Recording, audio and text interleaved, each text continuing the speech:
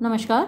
आज हम निराज सिंह चौधरी के निबंध tell me the weather and I will tell the man इसको हिंदी में पढ़ेंगे। चलिए प्रारंभ करते हैं। Tell me the weather tell me मुझे बताओ द वेदर मौसम के बारे में।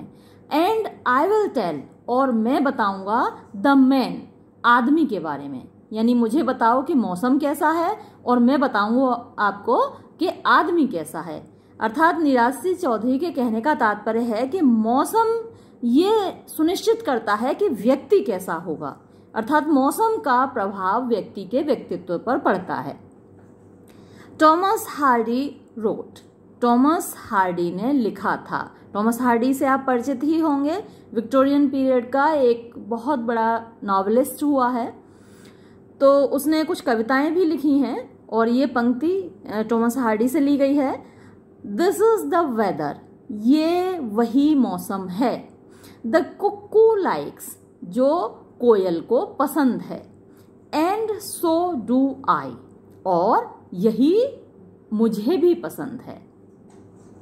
आई ऑल्सो वुड से मैं भी कहूँगा सो डू आई कि मुझे भी पसंद है। मैं भी ये कहना चाहूँगा कि ये मौसम मुझे भी पसंद है।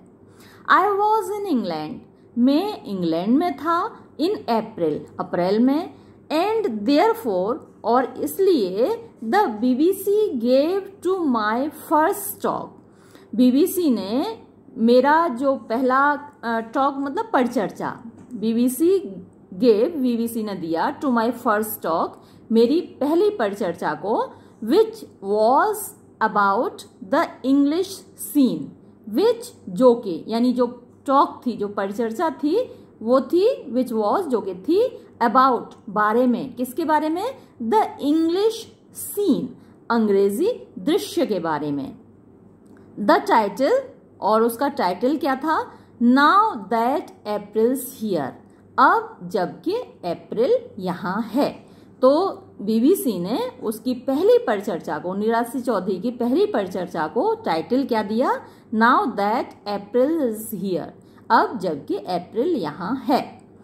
I did not however find the season quite as Browning had described it I did not मतलब मैंने नहीं हाउएवर किंतु फाइंड पाया। किंतु मैंने नहीं पाया द सीज़न मौसम को क्वाइट बिल्कुल एज जैसा कि Browning had described it Browning ने इसका वर्णन किया है। Although I stayed on till the beginning of May although यद्यपि आई स्टेड मैं रुका, ठहरा on till the beginning of May कब तक रुका? टिल मीन्स तक। द बिगिनिंग प्रारंभ ऑफ़ मे, मई के मई के शुरुआत तक मैं रुका। दैट ईयर उस साल स्प्रिंग वॉज़ लेट स्प्रिंग बसंत। वॉज़ लेट लेट हो गया, देर से आया। द लीव्स लेस फॉरवर्ड पत्तियाँ कम आगे आई मतलब पत्तियाँ कम निकली। जब बसंत का मौसम होता है तो नई नई पत्तियाँ निकलती हैं ना तो वही कहने का तात्पर्य है कि जब बसंत देर से आया तो पत्तियाँ भी कम आगे आई, अर्थात देर से निकली।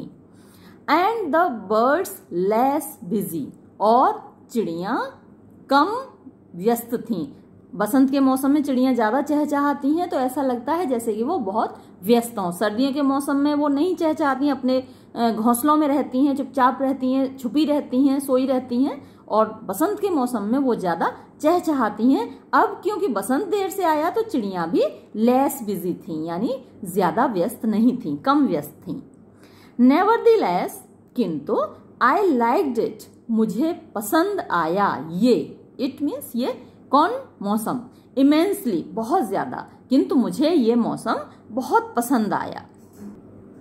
दिस वुड सीम दिस यह वुड सीम प्रतीत होगा अननेचुरल अस्वाभाविक, अप्राकृतिक टू इंग्लिशमैन अंग्रेज़ों को एंड टू माई कंट्रीमैन और मेरे देशवासियों देशवासियों को बोथ ऑफ़ हुम जिनमें से दोनों ही, कौन दोनों ही?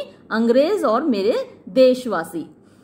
Are in their different ways are होते हैं इन देयर डिफरेंट वेज अपने अलग अलग तरीके से कंफर्म्ड कन्फर्म मीन्स पक्के ग्रम्बलर्स शिकायत करता ग्रम्बल में शिकायत करना और ग्रम्बलर्स शिकायत करता पक्के शिकायत करता होते हैं दोनों ही अबाउट बारे में, किसके बारे में?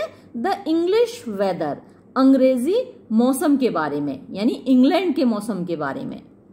इंडियन पेरेंट्स भारतीय माता पिता हु सेंड जो भेजते हैं देयर चिल्ड्रन अपने बच्चों को टू इंग्लैंड इंग्लैंड को आर एज वरीड आर होते हैं एज वरीड उतने ही चिंतित अबाउट इट इसके बारे में, किसके बारे में?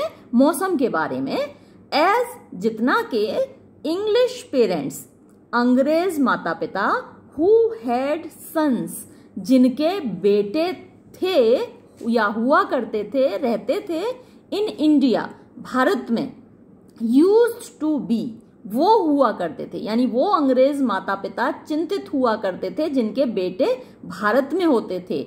और वो अंग्रेज़ माता पिता किस बारे में चिंतित हुआ करते थे? अबाउट बारे में आर स्नेक्स एंड टाइगर्स हमारे सांपों के बारे में और हमारे चीतों के बारे में। क्योंकि भारत में सांप बहुतायत में पाए जाते हैं और चीते बहुतायत में पाए जाते हैं। सो so, इसीलिए वेन जब इन माई फ़र्स्ट लेटर मेरे पहले पत्र में टू माई फैमिली जो मैंने अपने परिवार को लिखा फ्रॉम इंग्लैंड इंग्लैंड से विच वॉज़ जो कि था क्या था? मेरा पत्र था। सेवन पेजेस लॉन्ग सात पेज लंबा। एंड डिस्क्राइब्ड और उसमें वर्णन था द जर्नी यात्रा का एंड द अराइवल और मेरे आगमन का इन डिटेल विस्तार पूर्वक सात पेज का लेटर था तो उसमें डिटेल में विस्तार से उसने बताया था कि उसकी यात्रा कैसी थी, उसका आगमन कैसा था, उसने इंग्लैंड आने पर कैसा महसूस किया तो ये सारी चीज़ें उसने डिस्क्राइब की थी।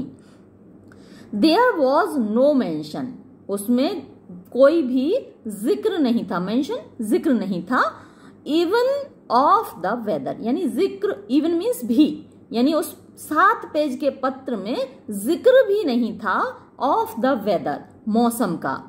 One of my sons wrote तो उस पत्र को पढ़ने के बाद वन ऑफ़ माई सन्स मेरे बेटों में से एक ने रोट लिखा। वी वर एक्सपेक्टिंग हम उम्मीद कर रहे थे समथिंग समथिंग किसी चीज़ की, किसी बात की अबाउट द वेदर मौसम के बारे में। यानी कि हम पत्र में ये उम्मीद कर रहे थे कि आप मौसम के बारे में कुछ लिखेंगे। आई होप मुझे उम्मीद है you will let us know आप हमें जानने देंगे, आप हमें बताएँगे। वेदर कि क्या? इट इज़ टू कोल्ड ये बहुत ज़्यादा ठंडा है, यानी वहाँ मौसम इंग्लैंड में बहुत ज़्यादा ठंडा है और नॉट या फिर नहीं है। बट लेकिन आई हार्डली हार्डली मीन्स मुश्किल से ही, मैं मुश्किल से ही गेव एनी थॉट कोई विचार किया, मैंने मुश्किल से ही कोई विचार किया टू इट इसके बारे में, यानी मैंने मौसम के बारे में मुश्किल से ही कभी कोई विचार किया taking it for granted take for granted का मतलब होता है यूँ ही मान लेना। यानी हम कहीं जा रहे हैं तो मौसम में थोड़ा बहुत परिवर्तन तो होगा ही हमारे हम अपने देश से बाहर जाएँगे। यानी आप देश में भी मत जाइए अपने ही दे, देश में देखिए कि जब हम यूपी से ऊपर नॉर्थ की तरफ़ जाते हैं तो कितना ठंडा होता जाता है साउथ की तरफ़ जाते हैं थोड़ा गर्म हो जाता है। तो जब हम कहीं जा रहे होते हैं तो ऐसे ही मान के चलते हैं कि मौसम थोड़ा बदला हुआ होगा। तो इसलिए लेखक ने इस बात पर कोई विचार नहीं किया। But I hardly gave any thought to it taking for granted इसको मान कर चल, चला वो। इन फैक्ट वास्तव में आई डिड नॉट फील मैंने महसूस ही नहीं किया द कोल्ड सर्दी एट ऑल बिल्कुल भी। वास्तव में मैंने तो सर्दी को बिल्कुल महसूस ही नहीं किया। ऑन द थर्ड डे तीसरे दिन आफ्टर माई अराइवल मेरे आगमन के आई वॉज़ वेटिंग मैं इंतज़ार कर रहा था फॉर द बस बस का एट अ स्टॉप एक बस स्टॉप पर। अपोजिट मीन्स जो कि सामने था bus stop Hyde Park Hyde Park ये बहुत फ़ेमस है पार्क लंदन में। At about nine in the morning at about nine यानी नौ बजे के लगभग इन द मॉर्निंग सुबह। A cutting wind cutting wind कटीली हवा, यानी ठंडी हवा वॉज़ ब्लोइंग चल रही थी, बह रही थी एंड और आई हैड नॉट टेकन मैंने नहीं लिया था माई ओवरकोट अपना ओवरकोट। मैंने अपना ओवरकोट नहीं लिया था और बड़ी कटीली हवा चल रही थी। एन इंग्लिश लेडी एक अंग्रेज़ महिला हु वॉज़ देयर जो कि वहाँ थी विद हर लिटिल डॉटर अपनी छोटी सी पुत्री के साथ लुक्ड एट मी उसने मेरी तरफ़ देखा एंड क्राइड आउट और चिल्लाई शिवरिंग कांपते हुए।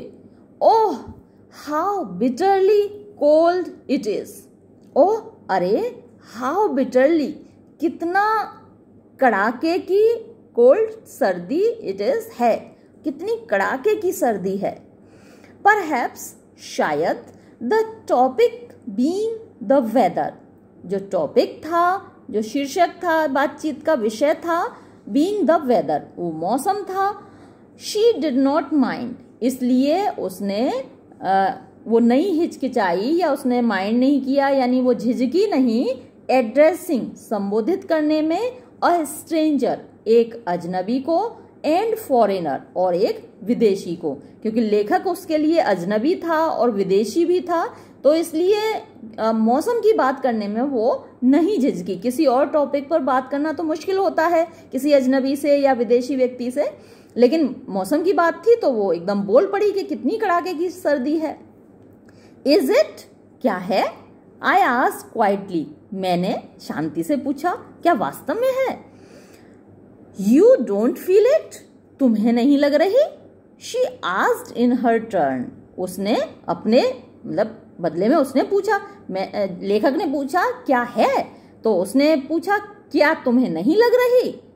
She asked in her turn and then she added लेकिन और तब उसने आगे कहा शी एडिड उसने आगे कहा बट लेकिन यू हैव ब्रॉट तुम लाए हो सो मच इतनी ज़्यादा सनशाइन धूप विद यू अपने साथ। यानी उस महिला ने कहा कि भाई, सर्दी तो इसको लग नहीं रही। और सर्दी क्यों नहीं लग रही? तो उसने मज़ाक में कहा तुम्हें लगता है इसलिए नहीं लग रही क्योंकि तुम अपने साथ इतनी सारी धूप जो लेकर आए हो। उसने देखा कि ये आ, इंडियन है और इंडिया में तो आप जानते हैं अच्छी खासी धूप पड़ती है। तो ये उसने मज़ाक में कहा कि आप तो इंडिया से अपने साथ इतनी सारी धूप जो लेकर आए हैं इसलिए आपको सर्दी नहीं लग रही। That may have been the reason that यही मे हैव बीन हो सकता था। द रीजन कारण बिहाइंड पीछे माई इनसेंसिटिवनेस मेरी असंवेदनशीलता के, मेरी असंवेदनशीलता के पीछे यही कारण हो सकता था भाई। मैं तो इंडिया से गया था और अपने साथ ढेर सारी धूप लेकर गया था। फॉर क्योंकि इट वॉज़ नॉट ब्रेवेडो ये कोई ब्रेवेडो तो था नहीं। ब्रेवेडो मतलब ये कोई साहस तो था नहीं, ये कोई वाहवाही तो थी नहीं भाई ठंड हो रही है और ठंड में मरना कोई वाहवाही की बात तो थी नहीं। बट लेकिन माय, मेरा नॉन कैलेंस नॉन कैलेंस होता है उदासीनता। डिड नॉट आउटलास्ट आउटलास्ट का मतलब होता है चलना, आगे तक चलना, दूर तक चलना। तो मेरी जो उदासीनता थी, वो नहीं चली द डे, दिन तक। यानी उसने दिन को वो सरपास नहीं कर पाई, पूरे दिन नहीं चल पाई मेरी ये नॉन कैलेंस मतलब उदासीनता। मेरी ये उदासीनता पूरे दिन नहीं चल पाई।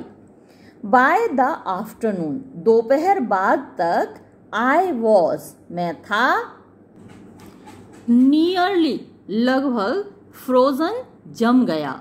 एंड और थॉट सोचा I should have to buy मुझे खरीदनी चाहिए या मुझे खरीदनी पड़ेगी? अ बॉटल एक बोतल ऑफ़ कॉगनेक कॉग्नेक की, अब ये कॉगनेक क्या है? फ्रांस की ब्रांडी है, फ्रेंच ब्रांडी है। तो वो उसकी एक बोतल खरीदनी पड़ेगी ऑफ़ विच जिसके के, यानी उस फ्रेंच ब्रांडी के आई हैड सीन मैंने देखे थे सम कुछ अट्रैक्टिव आकर्षक brands in the windows in the windows window वैसे खिड़की होती है लेकिन आ, आपने देखा होगा कि दुकानों में आगे जो कांच की कांच का दरवाज़ा होता है उसके पीछे रैक में सजा देते हैं दुकानदार सामान को तो उसको विंडो बोलते हैं। विंडो शॉपिंग भी कहलाता है कि जब आपको आप सिर्फ़ देखते हैं और खरीदते नहीं है सामान को, वहाँ पर देखते हैं कि क्या क्या सामान सजा हुआ तो उसको विंडो शॉपिंग कहते हैं। तो मैंने विंडोज़ में, यानी दुकानों में सजे हुए कुछ आकर्षक ब्रांड देखे थे उस ब्रांडी के कॉग्नेक के। In my panic I actually bought a bottle of cod liver oil और इन माई पैनिक पैनिक होती है घबराहट कंफ्यूजन तो अपनी घबराहट में आई एक्चुअली एक्चुअली वास्तव में, मैंने वास्तव में बॉट खरीद लिया अ बॉटल एक बोतल ऑफ़ कॉड लिवर ऑयल ये मछली का तेल होता है, मछली के लिवर का तेल होता है तो मैंने अपनी घबराहट में मछली के तेल की एक बॉटल खरीद ली विच जो कि ऑफ़ कोर्स वास्तव में आई नेवर टुक मैंने कभी नहीं ली, यानी मैंने उसको कभी प्रयोग ही नहीं किया. इन द एंड अंत में आई रिक्यूपरेटेड ऑन कॉफ़ी तो I recuperated on coffee recuperate का मतलब आ, मैं ठीक हो गया कॉफ़ी पीकर ठीक हो गया। अंत में मतलब ठंड जो लग रही थी वो कॉफ़ी पीकर शांत हो गई। या मैं कॉफ़ी पर आकर रुका। I recuperated on coffee and by the time और जिस समय तक आई वेंट आउट अगेन मैं फिर से बाहर गया इन द इवनिंग शाम को आई हैड गॉट बैक मैं गॉट बैक मैं पुनः प्राप्त कर चुका था। माई एप्लॉम माई एप्लॉम मतलब अपना आत्मविश्वास। ठंड लगी थी तो उसका मतलब ढीला पड़ गया था, शरीर ढीला पड़ गया था, उसका आत्मविश्वास ढीला पड़ गया था, लेकिन बाद में वो शाम तक मेरा आत्मविश्वास मैंने वापस पा लिया। एंड वॉम्थ और अपनी गर्मी, शरीर की गर्मी वापस पा ली। ऑल दो यद्यपि एट द टाइम उस समय आई डिड नॉट नो मुझे नहीं मालूम था दैट के I was going to dine मैं रात का भोजन करने जा रहा था ऑन बोर्ड बोर्ड सुअर का मांस होता है तो मैं रात के भोजन में खाने जा रहा था, सुअर का मांस पीकॉक मोर का भी मांस खाते हैं। मोर का मांस एंड सिलेबब। सिलेबब क्या है? एक तरीके का एक पेय पदार्थ होता है। उसमें आ, मीठी क्रीम होती है दूध होता है आ, और साथ में उसमें लिकर भी मिलाया जाता है मदरा भी मिलाई जाती है आ, या फिर आप कह सकते हैं स्पाइस्ड हॉट मिल्क होता है जिसमें मसाला पड़ा होता है गर्म दूध में मसाला और थोड़ी उसमें रम मिला देते हैं, शराब मिला देते हैं तो वो स्लेब कहलाता है। एंड ड्रिंक मीड मीड शहद की बनी हुई मदिरा होती है, शराब होती है, और मैं शहद की मदिरा पीने वाला था। And flagons of mulled claret flagon होती है सुराही, जिसमें कि मदिरा रखी जाती है, और मुझे सुराही भर के क्या मिलने वाला था? ऑफ़ मुल्ड क्लैरेट ये क्लैरेट एक लाल फूल होता है जिसको के मोल्ड क्या मतलब है कुचलना, क्रश करना। तो उन फूलों को क्रश करके मदिरा बनाई जाती है। तो कहने का तात्पर्य है, लेखक का फ्लैगन्स ऑफ़ मुल्ड क्लेट यानी मुझे सुराही भर के उन लाल क्लेरेट फूलों की मदिरा भी मिलने वाली थी शाम के भोजन में, डिनर में। दैट वॉज़ वो था माई मेरा ओनली एकमात्र एंड शॉर्ट लिव्ड और छोटा सा क्वेरल झगड़ा विद द इंग्लिश वेदर अंग्रेज़ी मौसम के साथ। यानी अंग्रेज़ी मौसम के साथ ये मेरा अकेला एकमात्र और छोटा झगड़ा था। आफ्टरवर्ड्स बाद में इवन कंटिन्यूअल रेन इवन भी कंटिन्यूअल जो रुक रुक कर लगातार होती है, कोई काम लगातार होता है तो उसको कंटिन्यूस बोलते हैं और कंटिन्यूअल का मतलब रुक रुक कर लगातार। तो जो लगातार होने वाली बारिश थी, वो भी सच एज आई हैड जैसी कि मुझे झेलनी पड़ी वन डे एक दिन गोइंग अबाउट जाते वक्त इन विल्ट शायर ये एक जगह है विल्ट शायर में डिड नॉट डिप्रेस मी वो भी मुझे डिप्रेस नहीं कर पाई मुझे उदास नहीं कर पाई मुझे परेशान नहीं कर पाई। एनदर टाइम एक और समय आई वॉज़ कॉट मैं घिर गया in a spell of really equally यहाँ कुछ होना चाहिए बैड वेदर होना चाहिए या तो इक्वली uh, और बैड के बीच में कोई एक शब्द होना चाहिए equally bad weather another time एक और समय आई वॉज़ कॉट मैं घिर गया in a spell means spell वैसे तो मंत्र होता है, लेकिन यहाँ पर जाल में या बुरे मौसम में ऑफ़ रियली वास्तविक इक्वली इतना ही बैड वेदर बुरे मौसम के. इतने ही बुरे मौसम के जाल में मैं एक दिन फंस गया. दैट वॉज़ ये हुआ एट विंचेस्टर विंचेस्टर में जब मैं था, तब ये हुआ. इट इज़ स्पॉइल्ड इसने खराब कर दिया। स्पॉइल मीन्स खराब कर देना, बिगाड़ देना। My sightseeing. साइट सीइंग यानी कोई चीज़ें आप देखने जाते हैं, जैसे आप ताजमहल देखने जाते हैं या कोई और हिस्टोरिकल बिल्डिंग देखने जाते हैं तो वो साइट सीइंग कहलाता है, यानी कि भ्रमण। It spoiled my sightseeing इसने मेरे भ्रमण को खराब कर दिया। एंड ऑल्सो मेड मी और मुझे कर दिया एंक्शस चिंतित अबाउट बींग एबल के क्या मैं समर्थ होऊँगा? The to catch the return train to catch पकड़ने में द रिटर्न ट्रेन वापसी की ट्रेन यानी मुझे, क्योंकि बारिश हो रही थी तो मुझे चिंता हुई कि क्या मैं वापसी की ट्रेन पकड़ पाऊँगा? बट आई थॉट लेकिन मैंने सोचा आई वॉज़ कंपेंसेटेड कंपेंसेट मतलब क्षतिपूर्ति हो जाना। कोई आपका नुकसान हुआ तो उसके लिए भरपाई हो जाना, वो कंपेंसेशन होता है। तो मेरी क्षतिपूर्ति हो गई। बट आई थॉट लेकिन मुझे लगा, मैंने सोचा आई वॉज़ कंपेंसेटेड मेरी क्षतिपूर्ति हो गई। वेन आई लुकड आउट जब मैंने बाहर देखा। एंड अगेन लुकड इन और फिर से अंदर देखा।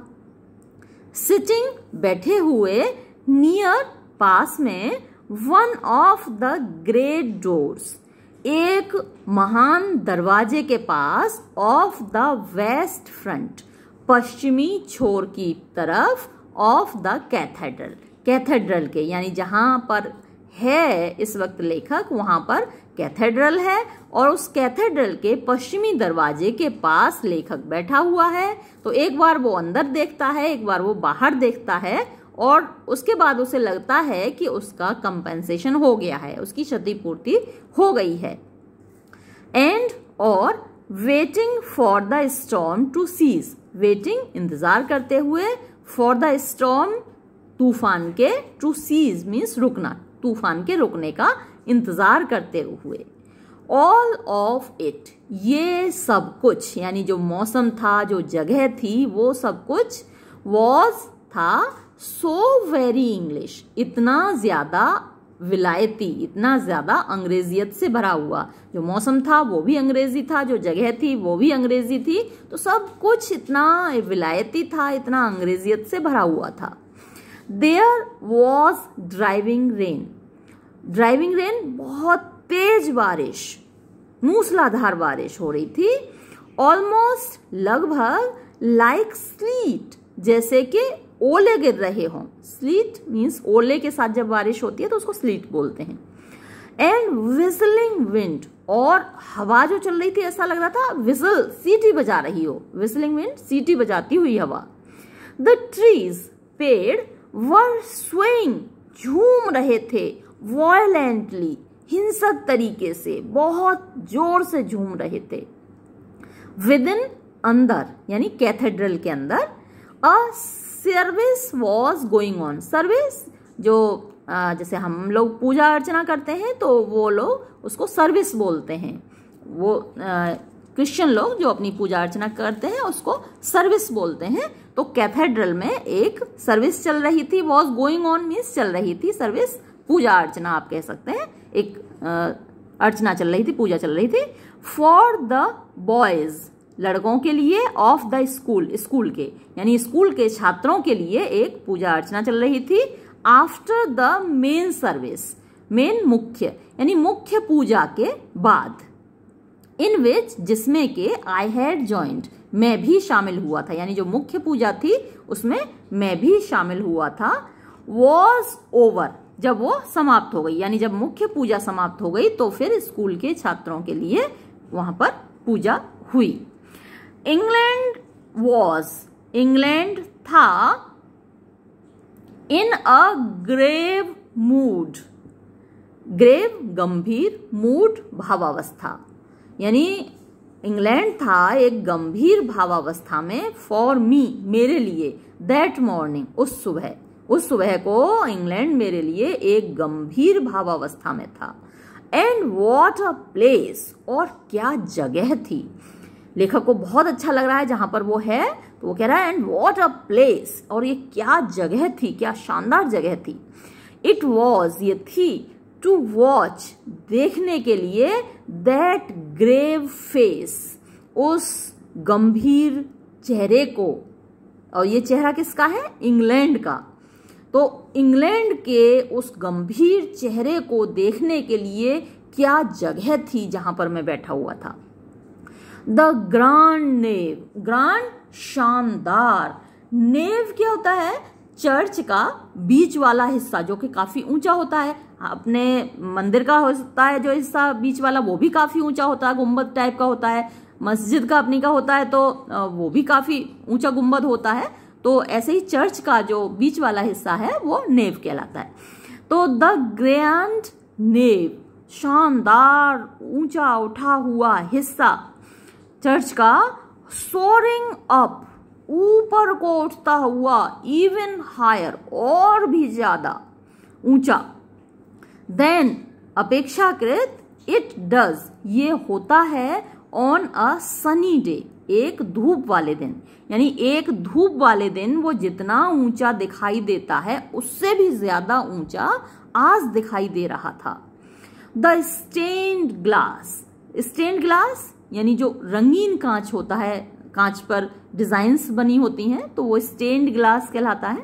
तो रंगीन कांच शाइनिंग चमकता हुआ डिमली धीमे धीमे द बॉयज़ क्वायर जो लड़के हैं, जो छात्र हैं अंदर, उनका क्वायर होता है समूह गान उनका समूह गान and the chanted words chanted मंत्र मुग्ध करने वाले शब्द।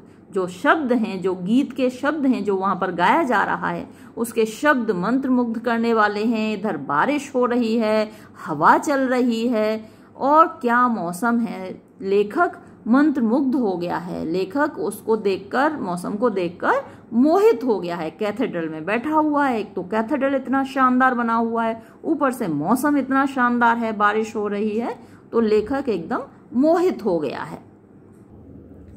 आई डू नॉट डिनाई मैं इनकार नहीं करता हाउएवर किंतु दैट के द इंग्लिश वेदर अंग्रेज़ी मौसम कैन बी हो सकता है वेरी प्रवोकिंग बहुत प्रवोक का मतलब होता है गुस्सा दिलाना, उकसाने वाला, बहुत उकसाने वाला हो सकता है स्पेशली विशेष रूप से if one is intent on going about one's business specially विशेष रूप से इफ़ यदि वन इज़ इंटेंट व्यक्ति का इरादा हो, किस चीज़ का? गोइंग अबाउट वंस बिज़नेस अपना बिज़नेस करने का, यानी अपने काम पर जाने का इरादा हो।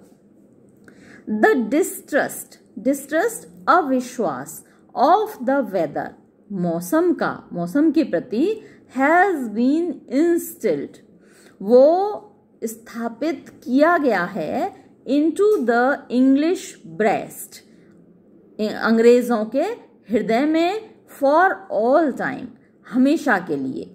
वेन एवर जब कभी भी I spoke about my sightseeing मैंने आई स्पोक में बात करता था, मैं बोलता था अबाउट बारे में माई साइट सींग अपने भ्रमण के, कि मुझे भ्रमण पर जाना है, घूमने जाना है। जब कभी भी मैं बोलता था आई वॉज़ आस्ट तो मुझसे पूछा जाता था इन एंशियस टोन्स एंशियस चिंता से भरी हुई टोन्स आवाजों में वॉज़ द वेदर गुड क्या मौसम सही था? आई फाउंड मैंने पाया दिस डिस्ट्रस्ट इस अविश्वास को embedded in a characteristic turn of speech embedded का मतलब जड़ा हुआ होता है। इन अ कैरेक्टरिस्टिक मीन्स विशेष टर्न ऑफ़ स्पीच आवाज़ का मोड यानी जब भी मौसम के बारे में आवाज़ करते थे व्यक्ति तो उनका, उनकी आवाज़ की टोन बदल जाती थी। उनकी आवाज़ अलग तरीके की हो जाती थी। तो आई फाउंड दिस डिस्ट्रस्ट मैंने इस अविश्वास को पाया। एम्बेडेड यानी मिला हुआ इन अ कैरेक्टरिस्टिक एक विशेष टर्न ऑफ़ स्पीच लहजे से, एक विशेष लहजे के साथ मिला हुआ। When in the long gallery of Hatfield House I was looking at the hat gloves and stockings of Queen Elizabeth first when जब इन द लॉन्ग गैलरी लंबी गैलरी में of Hatfield House Hatfield House की, ये Hatfield House क्या है? एक country house है। Country means देहात का, देहात में बना हुआ एक घर है बड़ा सा, और वहाँ पर एक बड़ा पार्क है, और बहुत बड़ा पार्क है जिसको द ग्रेट पार्क बोलते हैं, और उसके बीच में ये घर बना हुआ है जिसको हेडफील्ड हाउस बोलते हैं। और ये कहाँ पर है?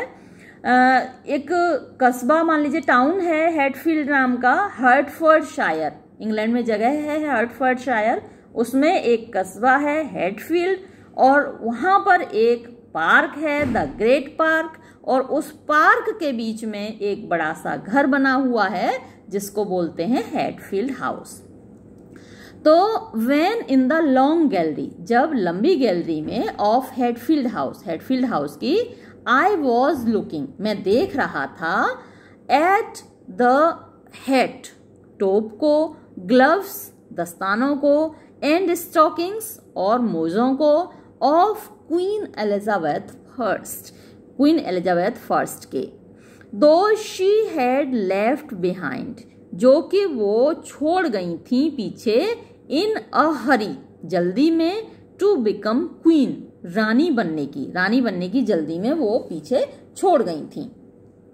आई सडनली आस्ट मैंने अचानक पूछा अंडर द इम्प्रेशन मतलब एक इम्प्रेशन में, एक भावावेश में आकर मैंने पूछा that she also had an umbrella with her कि उसके पास अम्ब्रेला भी तो होगा, छाता भी तो होगा, क्योंकि भाई इंग्लैंड में तो जब देखिए पल पल पे बारिश होती रहती है तो जब यहाँ पर उसका हैट है क्वीन एलिजाबेथ फ़र्स्ट का हैट है ग्लव्स है स्टॉकिंग्स है तो भाई छाता कहाँ गया? छाता भी तो होगा यहाँ पर। तो ये मैंने पूछा। आई सडनली आज मैंने अचानक पूछा अंडर द इम्प्रेशन इसी भावावेश में that she also had an umbrella with her कि उसके पास छाता भी होगा। But where is the umbrella लेकिन ये वो छाता कहाँ है? The elderly lady who was taking a sound replied तो जो एल्डरली लेडी थी, जो वयस्क महिला थी who was taking a sound जो हमारा हमें को लीड कर रही थी, जो हमारा नेतृत्व कर रही थी, हमें ले जा रही थी या हमें दिखा रही थी रिप्लाइड उसने उत्तर दिया। She trusted to her luck उसको अपने भाग्य पर भरोसा था। शी ट्रस्टेड उसको भरोसा था टू हर लक अपने भाग्य पर। यानी वो छाता लेकर नहीं चलती थी, उनको अपने भाग्य पर भरोसा था कि जब वो बाहर निकलेंगी तो बारिश नहीं आएगी। हाउ किंतु शी पकड़ हर ब्रोज पकड़ का मतलब जब आप अपना माथा सिकोड़ते हैं या फिर थोड़ा गुस्से में होते हैं या थोड़ा टेंशन में होते हैं तो आपने देखा होगा कि आपकी जो भौएँ हैं, वो सिकुड़ के मिल जाती हैं आपस में। तो शी पकड़ हर ब्रोज उसने अपनी भौएँ सिकोड़ी एंड सैड और बोली मोर टू हर सेल्फ मतलब जैसे वो बोली, लग रहा था कि वो अपने आप से ज़्यादा बोल रही है देन टू मी अपेक्षाकृत मेरे। मेरे बजाय वो खुद से ही बोली but when was the umbrella लेकिन अम्ब्रेला कब थे? क्वीन एलिजाबेथ के टाइम में अम्ब्रेला थे क्या? But when was the umbrella of course in the eighteen century of course वास्तव में इन द एटीन सेंचुरी अठारहवीं शताब्दी में, यानी अम्ब्रेला अठारहवीं शताब्दी में थे। आई हेसेंट मैंने जल्दी से कहा टू रिप्लाई उत्तर देने के लिए। द फैक्ट ये तथ्य दैट के द वर्ड शब्द लक भाग्य इज़ यूज़ प्रयोग किया गया इन कनेक्शन विद संबंध में द वेदर मौसम के। मौसम के संबंध में भाग्य शब्द प्रयोग किया गया एज विद गैम्बलिंग जैसा कि गैम्बलिंग में, यानी जुआ खेलते वक्त भाग्य प्रबल होता है, यानी यदि भाग्य अच्छा होता है तो आप जुए में जीतते हैं गैम्बलिंग मीन्स जुआ। तो जैसे जुए में भाग्य का शब्द भाग्य शब्द का प्रयोग किया जाता है, वैसे ही भाग्य शब्द का प्रयोग मौसम के बारे में किया गया। एपियर्स टू मी ये मुझे प्रतीत होता है टू बी सिग्निफिकेंट कि ये महत्वपूर्ण है, यानी मौसम महत्वपूर्ण है। यट फिर भी इट वॉज़ ये था दिस यही कैप्रिशियसनेस कैप्रिशियसनेस मतलब सनक, यही सनक थी मौसम की। दैट जो कि आई एंजॉयड मैंने आनंद लिया मोस्ट सबसे ज़्यादा। यानी मौसम की ये जो सनक थी कैप्रिशियसनेस यानी कभी भी बारिश हो गई, कभी भी धूप निकली आई तो मौसम की इसी सनक का मैंने सबसे ज़्यादा आनंद लिया। इंग्लिश मैन अंग्रेज़ लोग हु कंप्लेन जो शिकायत करते हैं अबाउट बारे में। द अनप्रिडिक्टेबिलिटी ये प्रेडिक्ट मतलब भविष्यवाणी करना। प्रेडिक्टेबिलिटी जिसके बारे में भविष्यवाणी की जा सके। प्रेडिक्टेबल वो होता है जिसके बारे में भविष्यवाणी की जा सकती है। तो वो एडजेक्टिव होता है और प्रेडिक्टेबिलिटी नाउन है और अनप्रेडिक्टेबिलिटी जिसके बारे में भविष्यवाणी ना की जा सके। यानी कि अनिश्चितता। अनप्रेडिक्टेबिलिटी अनिश्चितता ऑफ़ देयर वेदर उनके मौसम की। यानी जो अंग्रेज़ लोग अपने मौसम की अनिश्चितता के बारे में शिकायत करते हैं कैन हैव नो कंसेप्शन उनको कंसेप्शन मीन्स विचार, आभास। तो उनको इस बात का कोई विचार भी नहीं आ सकता, उनको कोई आभास भी नहीं हो सकता कि हाउ कितना एक्सक्रेशिएटिंग एक्सक्रेशिएटिंग मतलब पीड़ादायक। कितना पीड़ादायक? इट्स इसका, यानी कि मौसम का। प्रिडिक्टेबिलिटी यानी निश्चितता कैन बी हो सकती है। यानी अंग्रेज़ों को ये मालूम ही नहीं है। वो हमेशा अपने मौसम की शिकायत करते रहते हैं कि उनका मौसम बड़ा अनप्रडिक्टेबल है, लेकिन मौसम की प्रडिक्टेबिलिटी मौसम की निश्चितता कितनी पीड़ादायक हो सकती है, ये तो वो जानते ही नहीं। लिविंग इन डल्ही दिल्ली में रहते हुए फॉर टू मंथ्स दो महीने के लिए एंड मोर और ज़्यादा के लिए। आई कैन नॉट एस्केप मैं नहीं बच सकता। द सर्टेनिटी इस निश्चितता से दैट कि द स्काई आकाश विल बी रहेगा टाउनी पीला। अ हीट हेज, एक गर्मी की हेज मीन्स होती है चकाचौंध विल लाई, पड़ी रहेगी। लाइक अ पॉल। पॉल होता है कफन। एक कफन की तरह ऑन द लैंडस्केप धरती पर। यानी गर्मी के मौसम में, मई जून का जो महीना होता है, दिल्ली में या भारत, नॉर्थ इंडिया में, उत्तर भारत में, अक्सर यूपी में, बिहार में, मध्य प्रदेश में, राजस्थान में और दिल्ली में बहुत ज़्यादा गर्मी होती है। इतनी तेज धूप होती है जैसे कि धरती के ऊपर कफन पड़ा हुआ हो सफ़ेद रंग का। तो अ हीट हेज, एक गर्मी की चकाचौंध विल लाई पड़ी रहेगी। लाइक अ पॉल एक कफन की तरह ऑन द लैंडस्केप धरती पर। डे लाइट जो दिन की रोशनी होगी, यानी जो धूप होगी विल हैव उसमें होगा अ हार्ड ग्लेयर एक हार्ड कठोर ग्लेयर चमक, तीखी चमक, एक चकाचौंध बट नो ब्राइटनेस लेकिन उसमें ब्राइटनेस नहीं होगी, चमकीलापन नहीं होगा, बल्कि चकाचौंध होगा, बहुत ज़्यादा तेज होती है रोशनी, आँख भी नहीं खुल पाती उस धूप में। तो जो ब्राइटनेस होती है वो तो सुकून देने वाली होती है लेकिन इसमें क्या होता है? ग्लेयर होता है hard glare and the earth और धरती विल लुक दिखेगी लाइक like, जैसे कि डाइंग मर रही हो of heat stroke heat stroke लू लगने से जैसे गर्मी लगने से लपट लगने से लू लगने से धरती मर रही हो ऐसा लगता है। एज किपलिंग रोड जैसा कि किपलिंग ने लिखा था।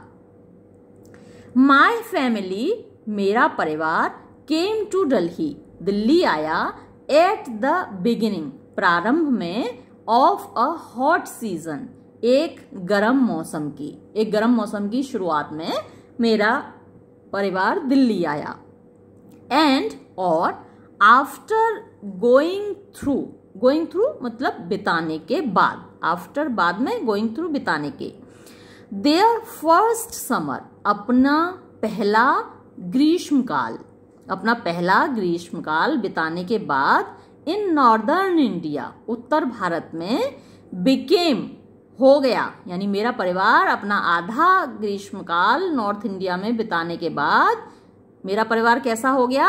हाफ़ हिस्टेरिकल आधा पागल। इतनी गर्मी पड़ती है नॉर्थ इंडिया में। सो वैन सो अतः वेन जब वन इवनिंग एक शाम को towards the end of June जून के अंत की ओर जून के अंत में एक शाम को स्टॉर्म क्लाउड्स तूफानी बादल सडनली अचानक एपियर्ड दिखाई दिए इन द स्काई आकाश में। माय सर्वेंट, मेरा नौकर हुम जिसको के आई हैड ब्रॉड मैं लाया था ओवर मतलब साथ में लाया था फ्रॉम केलकटा कलकत्ता से बर्स्ट इनटू द रूम एकदम दौड़कर कमरे में आया। क्राइम चिल्लाते हुए इन अ वॉइस एक आवाज़ में चोक्ड जो कि रुंधी जा रही थी विद इमोशन भावनाओं से। क्लाउड्स द क्लाउड्स क्या चिल्लाया वो नौकर? बादल आ गए, बादल आ गए। वी लेफ़्ट हमने छोड़ दिया अवर डिनर अपना डिनर अपना शाम का भोजन कर रहे थे डिनर छोड़ दिया एंड रश्ड आउट और बाहर दौड़े इनटू द वरांडा वरामदे में। देयर वर इंडीड वहाँ मतलब बरामदे में, बाहर आकाश में बरामदे में आकर देखा कि देयर वर इंडीड क्लाउड्स वास्तव में वहाँ बादल थे।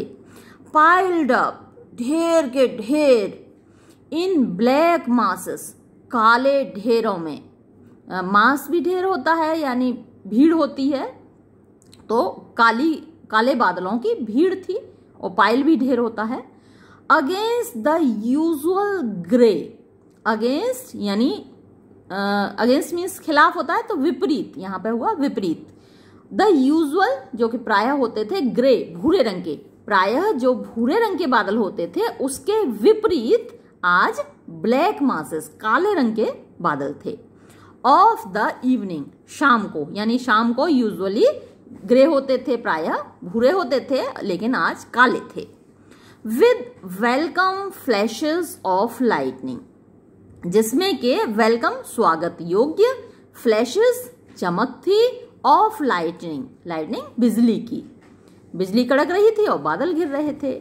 इट वॉज़ ऐसा लग रहा था एज इफ़ मानो कि वी हैड गॉन थ्रू हमने झेला हो गॉन थ्रू हमने झेला हो the siege of Lucknow siege घेरा ऑफ़ लखनऊ लखनऊ का। ये जो लखनऊ का घेरा सीज ऑफ़ लखनऊ यहाँ पर रेफरेंस है। ये आज़ादी की लड़ाई के समय का रेफरेंस है। आज़ादी के लड़ाई के समय स्वतंत्रता सेनानियों ने अठारह में लखनऊ का घेरा डाल दिया था। तो उस घेरे के टाइम मतलब ना कोई कहीं बाहर जा पा रहा था, ना अंदर आ पा रहा था तो पूरा ऐसा वातावरण हो गया था अंग्रेज़ों के लिए खासकर कि वो घबराहट की स्थिति में आ गए थे जब लखनऊ का घेरा डाला था स्वतंत्रता सेनानियों ने। तो ऐसा लग रहा था इट वॉज़ एज इफ़ ऐसा लग रहा था वी हैड गॉन थ्रू हमने झेला हो the siege of Lucknow Lucknow का घेरा एंड हर्ड और अब सुना हो the pipes of the Campbells तो कैम्पवेल ये मेरे पास एक इतिहास की पुस्तक है। इससे शायद आप बेहतर समझ जाएँ कि बात क्या है। देखिए general Outram and Havelock force their way into the residency on September twenty यानी मैंने जब आपको बताया कि जो स्वतंत्रता सेनानी थे अठारह सौ सत्तावन में, उन्होंने घेरा डाल दिया था रेजिडेंसी का। तो ये जनरल आउटरम और हैवलॉक ये आए थे फोर्स लेकर, लेकिन they were not strong enough वो इतने शक्तिशाली नहीं थे टू रिमूव द सीज कि वो उस घेरे को हटा सकें, जो कि स्वतंत्रता सेनानियों ने डाल रखा था। तो फिर Sir Colin Campbell with a strong relieving force तो उसके बाद सर कॉलिन कैम्बेल आए, एक ताकतवर रिलीविंग फोर्स के साथ, एक सेना के साथ रीच्ड वो पहुँचे the outskirts of the city यानी शहर के बाहर इन मार्च 1858 मार्च अट्ठारह में Lucknow eventually fell into the hands of the British तो लखनऊ वापस ब्रिटिशर्स के हाथ में आ गया। ये देखिए, एक तस्वीर भी है, ये इतिहास की पुस्तक है। द रिकैप्चर ऑफ़ लखनऊ नाम से है। और इसमें आप जो देख रहे हैं, ये जो तस्वीर है बड़ी ही दुखद है। और इसके नीचे नोट भी लिखा हुआ है। ये आईसीएसई की बुक है। The English officers and soldiers behaved barbarously जो अंग्रेज़ अफसर थे और सैनिक थे उन्होंने बड़ा दुष्टतापूर्वक व्यवहार किया, बर्बर तरीके का व्यवहार किया। आफ्टर दे गॉट लखनऊ जब उनको लखनऊ वापस मिल गया अंडर देयर कंट्रोल उनके नियंत्रण में दे इवन सर्ज यहाँ तक कि उन्होंने तलाशी ली द डेड बॉडीज मृतक शरीरों की। ये देख रहे हैं आप, मृतक शरीर की तलाशी ले रहे हैं। फॉर वैल्यूएबल ऑब्जेक्ट्स यानी कि कुछ कीमती सामान ना हो इनकी जेबों में, और मनी या फिर पैसा हो विच सोल्जर्स और other Indians were carrying in their pockets जो कि सैनिक और कुछ दूसरे जो भारतीय लोग थे उनकी जेबों में। खैर, ये तो एक अलग इतिहास की घटना रही। अपने चैप्टर पर हम वापस आते हैं, जो चीज़ हम पढ़ रहे थे, वापस देखते हैं उसको।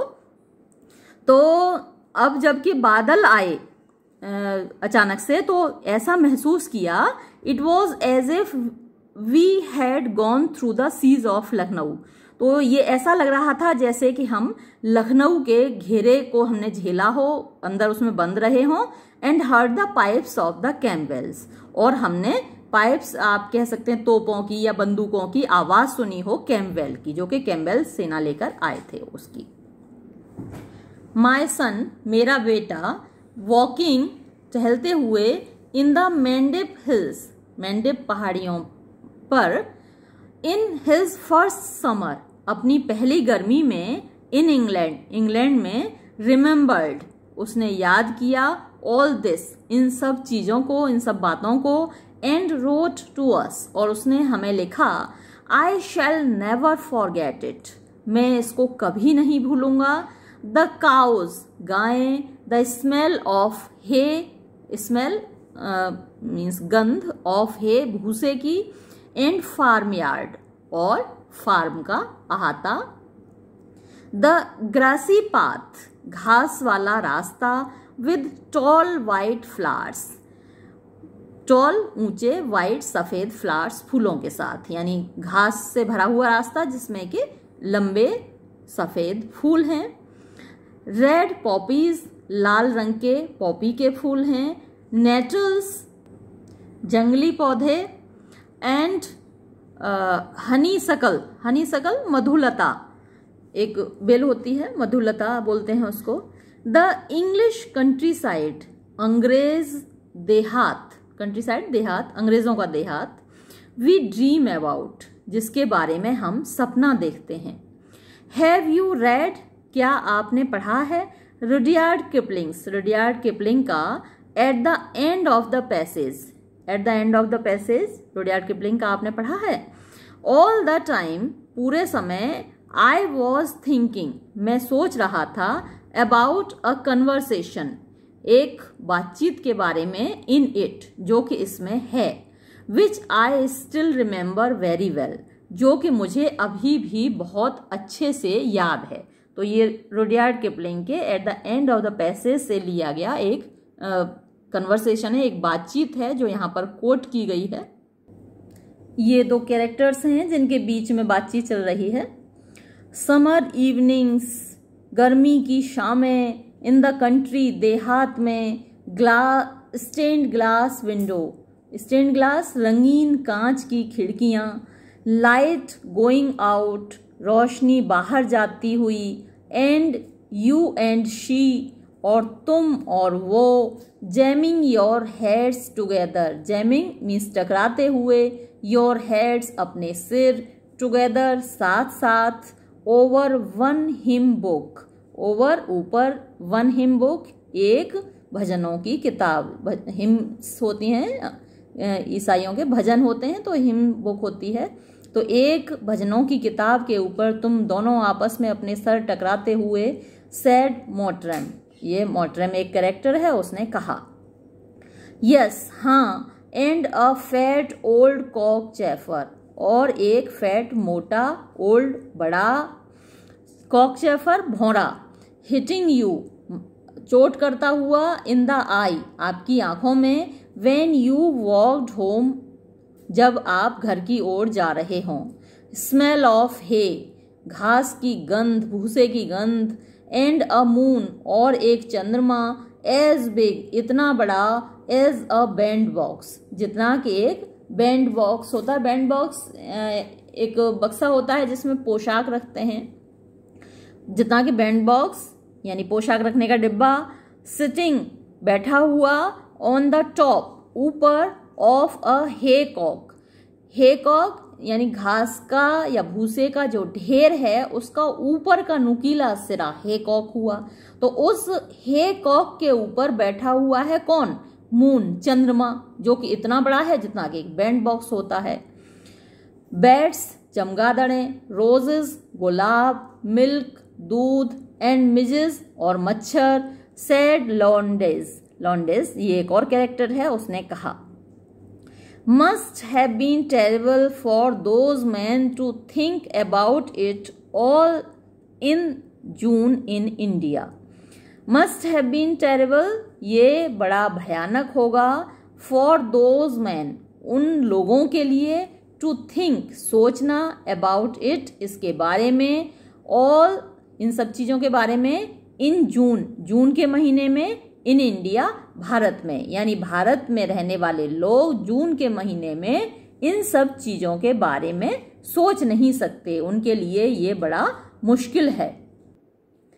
इट वॉज़ दिस यूनिफॉर्मिटी ये थी यूनिफॉर्मिटी एकात्मकता। यानी जो आ, इंडिया का मौसम है वो गर्मी में तो गर्मी ही पड़ेगी सर्दी है तो सर्दी ही पड़ेगी बारिश है तो बारिश पड़ेगी। तो ये यूनिफॉर्मिटी है भारत के मौसम की।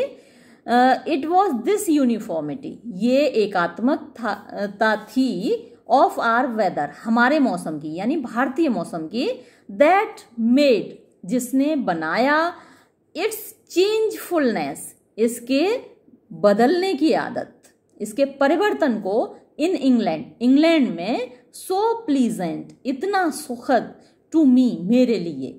यानी इंग्लैंड का जो मौसम है, उसकी जो परिवर्तनशीलता है, उसको मेरे लिए सुखद बना दिया। किसने? भारत के मौसम की यूनिफॉर्मिटी ने, भारत के मौसम की एकात्मकता ने। एंड इफ़ यू आर ले, और यदि आप हों वंस रिकनसाइल्ड वंस एक बार रिकनसाइल मतलब होता है समझौता करना।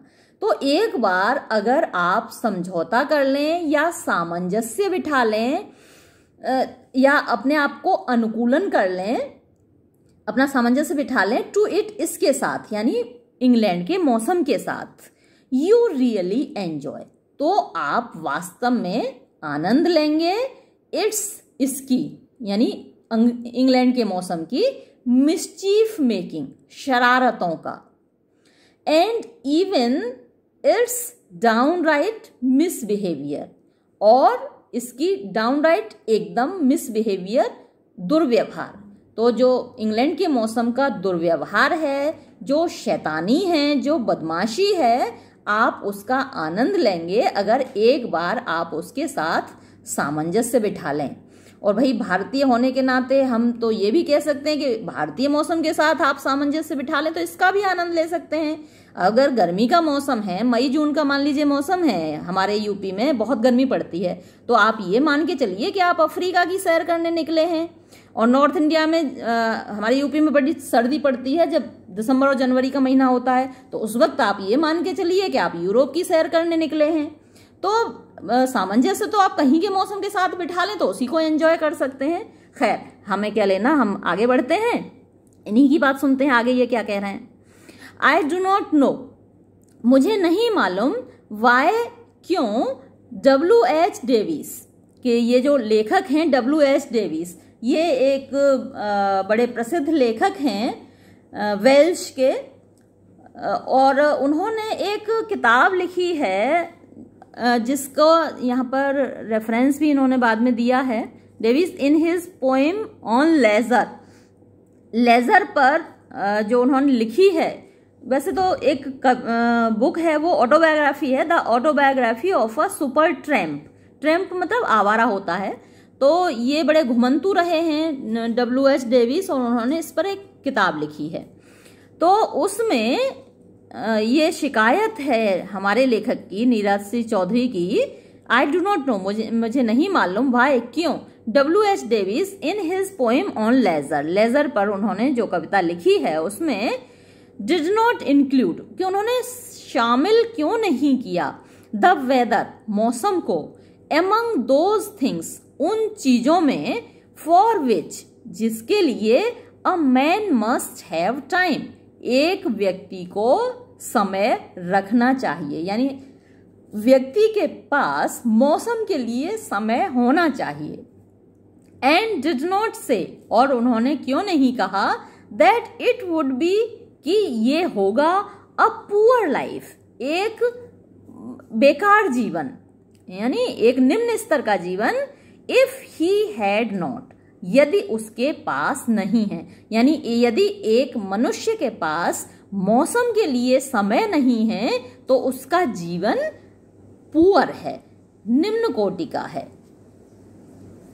आई थिंक मैं सोचता हूँ I have at last got के एट लास्ट अंततः आई हैव गॉट मुझे मिल चुका है, मैं प्राप्त कर चुका हूँ अ बेटर अंडरस्टैंडिंग एक बेहतर समझ ऑफ़ किस चीज़ की समझ?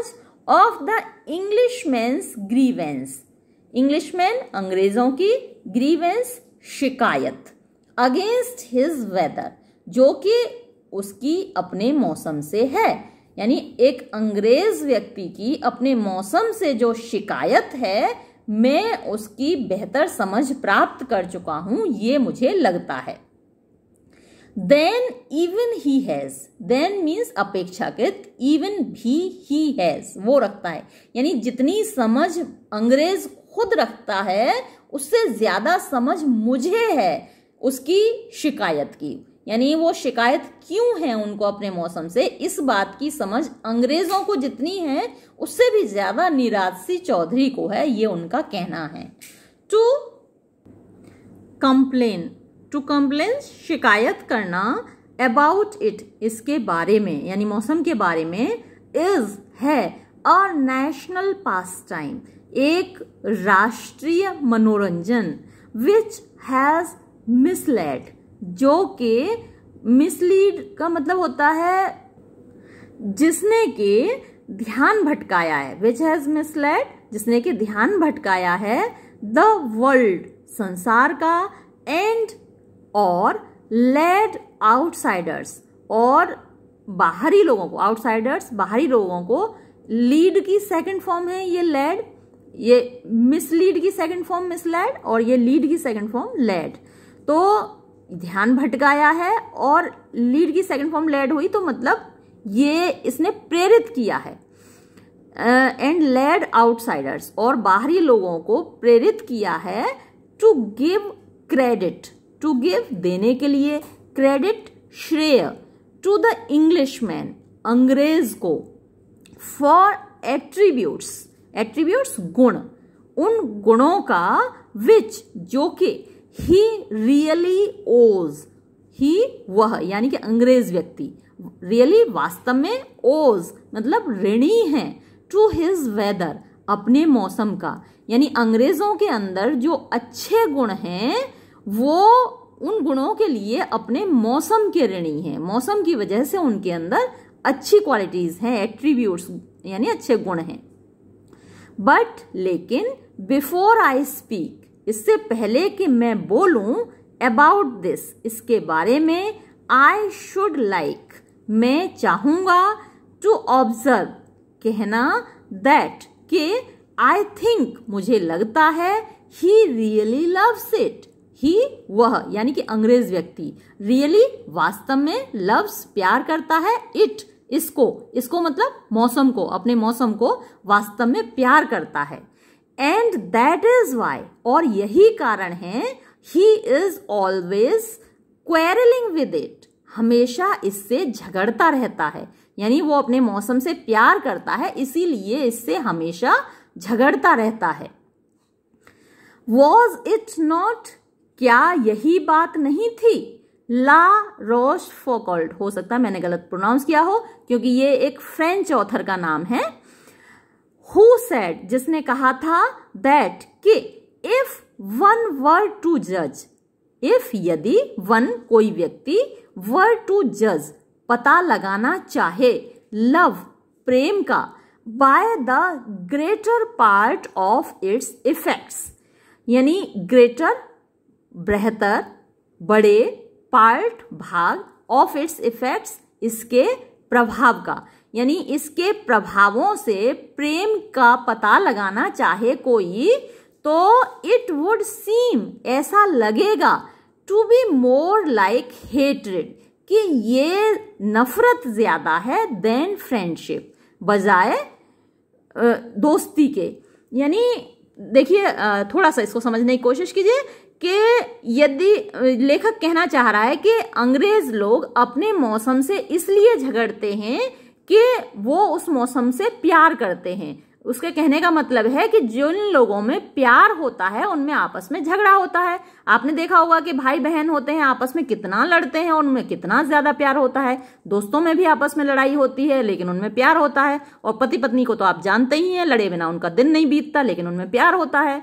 तो यही बात आ, लेखक कहना चाह रहा है कि यदि हम प्रेम को कि प्रेम का पता लगाना चाहें उसके इफेक्ट्स के द्वारा, उसके प्रभावों के द्वारा तो हम देखेंगे कि हमें वो हेटरेट दिखाई दे रहा है। भाई, जब झगड़ते हैं तो ऐसा लगता है जाने कितनी नफरत करते हैं एक दूसरे से। फ्रेंडशिप तो दिखाई नहीं देगी। झगड़े के टाइम आप देखेंगे तो फ्रेंडशिप नहीं दिखाई देगी। आपको हेटरेट दिखाई देगी, जबकि वास्तव में वो प्यार होता है। नाउ अब that there are so many means बहुत सारे संसाधन हैं। अब जबकि बहुत सारे संसाधन हैं ऑफ़ प्रोटेक्टिंग प्रोटेक्टिंग यानी सुरक्षा करने के वन सेल्फ अपने आप की इफेक्टिवली प्रभावी तरीके से अगेंस्ट बैड वेदर बुरे मौसम से। इवन चिल्ड्रन बच्चे भी इन इंग्लैंड इंग्लैंड में डू नॉट सीम नहीं लगते टू बी पुट आउट दूर रहते हुए, अलग रहते हुए बाय इट इसके द्वारा। यानी अब तो इससे बच्चे भी नहीं डरते। जो बुरा मौसम है इंग्लैंड का, उससे तो अब इंग्लैंड के बच्चे भी नहीं डरते, क्योंकि मौसम से अपनी सुरक्षा करने के बहुत सारे संसाधन उपलब्ध हैं। ऑन दैट रेनी डे उस बरसात के दिन इन विल्टशायर विल्टशायर में आई सॉ मैंने देखा अ सरप्राइजिंगली लार्ज नंबर एक सरप्राइजिंगली आश्चर्यजनक रूप से लार्ज नंबर बहुत बड़ी संख्या. ऑफ़ देम उनकी, किनकी? बच्चों की. आउट बाहर इन द फील्ड्स मैदानों में एंड वॉक्स और सड़क पर फुटपाथ में जहाँ वॉक करने की जो जगह है, टहलने की जगह है. देयर व इवन बेबीज यानी बच्चों को तो छोड़िए, वहाँ पर शिशु भी थे। बेबी, बच्चा वो है जो चल फिर सकता है, और शिशु बेबी कौन है जो चल नहीं सकता? वो शिशु होता है। तो देयर वर इवन बेबीज वहाँ शिशु भी थे इन देयर प्रेम्स अपनी गाड़ियों में, जो छोटे बच्चों को घुमाने के लिए आपने देखा होगा, गाड़ियाँ होती हैं तो उसको प्रेम बोलते हैं। तो शिशु भी थे अपनी गाड़ियों में। एंड टॉडलर्स टॉडलर्स वो बच्चे होते हैं जिन्होंने अभी अभी चलना सीखा है swaggering along in their bright jerseys तो जो छोटे छोटे बच्चे थे जिन्होंने अभी अभी चलना सीखा है, वो वो स्वेगरिंग मतलब चलते हुए, अकड़ते हुए along in their bright jerseys bright चमकीली जर्सी वो स्वेटर होता है, अपनी चमकीली जर्सियों में अकड़ते हुए, चलते हुए कैप्स अपनी टोपियों में एंड मैकिनटोश मैकिनटोश एक लबादा है, बरसाती है, चोगा है। हम जैसे जैकेट पहन लेते हैं, खूब मोटी सी तो वो मैकिनटोश है। तो वो सब पहने हुए बच्चे अनमाइंडफुल अनमाइंडफुल मतलब कोई ध्यान नहीं दे रहे। Of the fine drizzle fine बढ़िया ड्रिजल बूंदाबांदी, जो अच्छी खासी बूंदाबांदी हो रही है, उस पर भी वो बच्चे कोई ध्यान नहीं दे रहे। देयर वर ऑल्सो वहाँ पर थे a number of gypsy families और नंबर ऑफ़ यानी बहुत सारे जिप्सी फैमिलीज़ कौन होते हैं? जो घुमंतु परिवार होते हैं। उनका कोई घर नहीं होता। एक जगह वो रहते नहीं। जहाँ रुक गए, वहीं डेरा डाल लिया, वहीं टेंट लगा लिया, वहीं रह लिए तो वो जिप्सी फैमिलीज़ होती हैं। तो वहाँ पर बहुत सारे घुमंतु परिवार थे। रेस्टिंग जो कि आराम कर रहे थे। बाय द वे साइड सड़क के किनारे द मैन आदमी एंड विमेन महिलाएँ सिटिंग बैठे हुए बाय द कारवा, अपने कारवा, वो एक बड़ी सी गाड़ी बना लेते हैं और मतलब एक गाड़ी क्या, बहुत सारी गाड़ियाँ होती हैं, एक के पीछे एक समूह होता है गाड़ियों का तो अपने कारवा के पास, उन गाड़ियों के पास आराम करते हुए द चिल्ड्रन बच्चे यानी उन घुमंतु परिवारों के बच्चे टम्बलिंग लुढ़कते हुए क्लोज बाय पास ही में यानी बच्चे भी आ, आराम से पल जाते हैं उनके इधर उधर लुढ़कते हुए मिट्टी में खेलते हुए कुछ मिट्टी में खेले कुछ मिट्टी खाई और बड़े मज़बूत होते हैं उनकी इम्यूनिटी ज़बरदस्त होती है तो उनके बच्चे वहाँ पर लुढ़कते हुए एंड द हॉर्स ग्रेजिंग और घोड़े घास चरते हुए एट अ लिटिल डिस्टेंस थोड़ी दूरी पर looking the most composed of the group looking जो दिखाई दे रहे थे द मोस्ट कंपोज सर्वाधिक कंपोज शांत ऑफ़ द ग्रुप समूह. नाउ टू कम अब आते हैं टू द मेन पॉइंट मुख्य बिंदु पर. आई थिंक मैं सोचता हूँ द वेदर मौसम ने हैज़ वेरी लार्जली एंटर्ड यानी मौसम बहुत विशाल तरीके से एंटर्ड प्रवेश कर गया है इनटू द फॉर्मेशन फॉर्मेशन होती है बनावट, संरचना. तो बनावट में, संरचना में of the English men's mind अंग्रेज़ों के दिमाग की, अंग्रेज़ों के दिमाग की जो संरचना है, उसमें मौसम प्रवेश कर गया है. एंड और द ट्रेनिंग प्रशिक्षण ऑफ़ हिज सेंसिबिलिटीज उसकी संवेदनाओं के, उसके संवेदनाओं का जो प्रशिक्षण है और उसका जो मस्तिष्क है, उसकी संरचना में मौसम बहुत ज़्यादा प्रवेश कर गया है। It has made him it यानी मौसम ने हैज़ मेड हिम उसको बना दिया है, यानी अंग्रेज़ों को बना दिया है। रेस्पॉन्सिव रेस्पॉन्ड करना मतलब प्रतिक्रिया देना। रेस्पॉन्सिव यानी प्रतिक्रिया देने वाला टू चेंजेस परिवर्तनों के प्रति।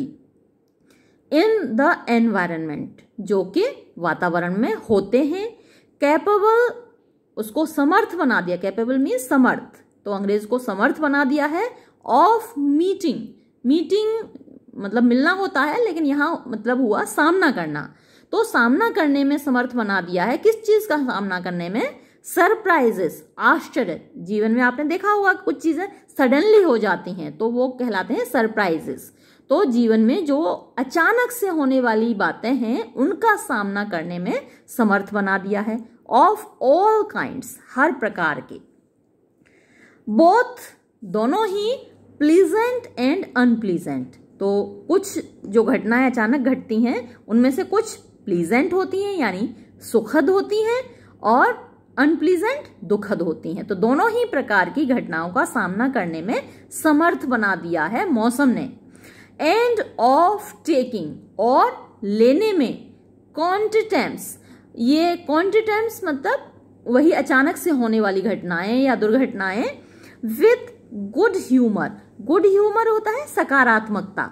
सकारात्मकता के साथ लेने में समर्थ बना दिया। यानी वो जितनी भी अचानक होने वाली घटनाएँ या दुर्घटनाएँ हैं, उनको सकारात्मक तरीके से लेते हैं, नकारात्मक तरीके से नहीं लेते गुड ह्यूमर एबव ऑल और सबसे ऊपर इट हैज़ मेड हिम इसने उनको बना दिया है, यानी मौसम ने अंग्रेज़ों को बना दिया है ऑब्जर्वेंट ऑब्जर्वेंट मीन्स अवलोकन करता of and susceptible to susceptible means संवेदनशील. To concrete details concrete abstract का अपोजिट होता है, यानी सॉलिड ठोस. डिटेल्स विवरण.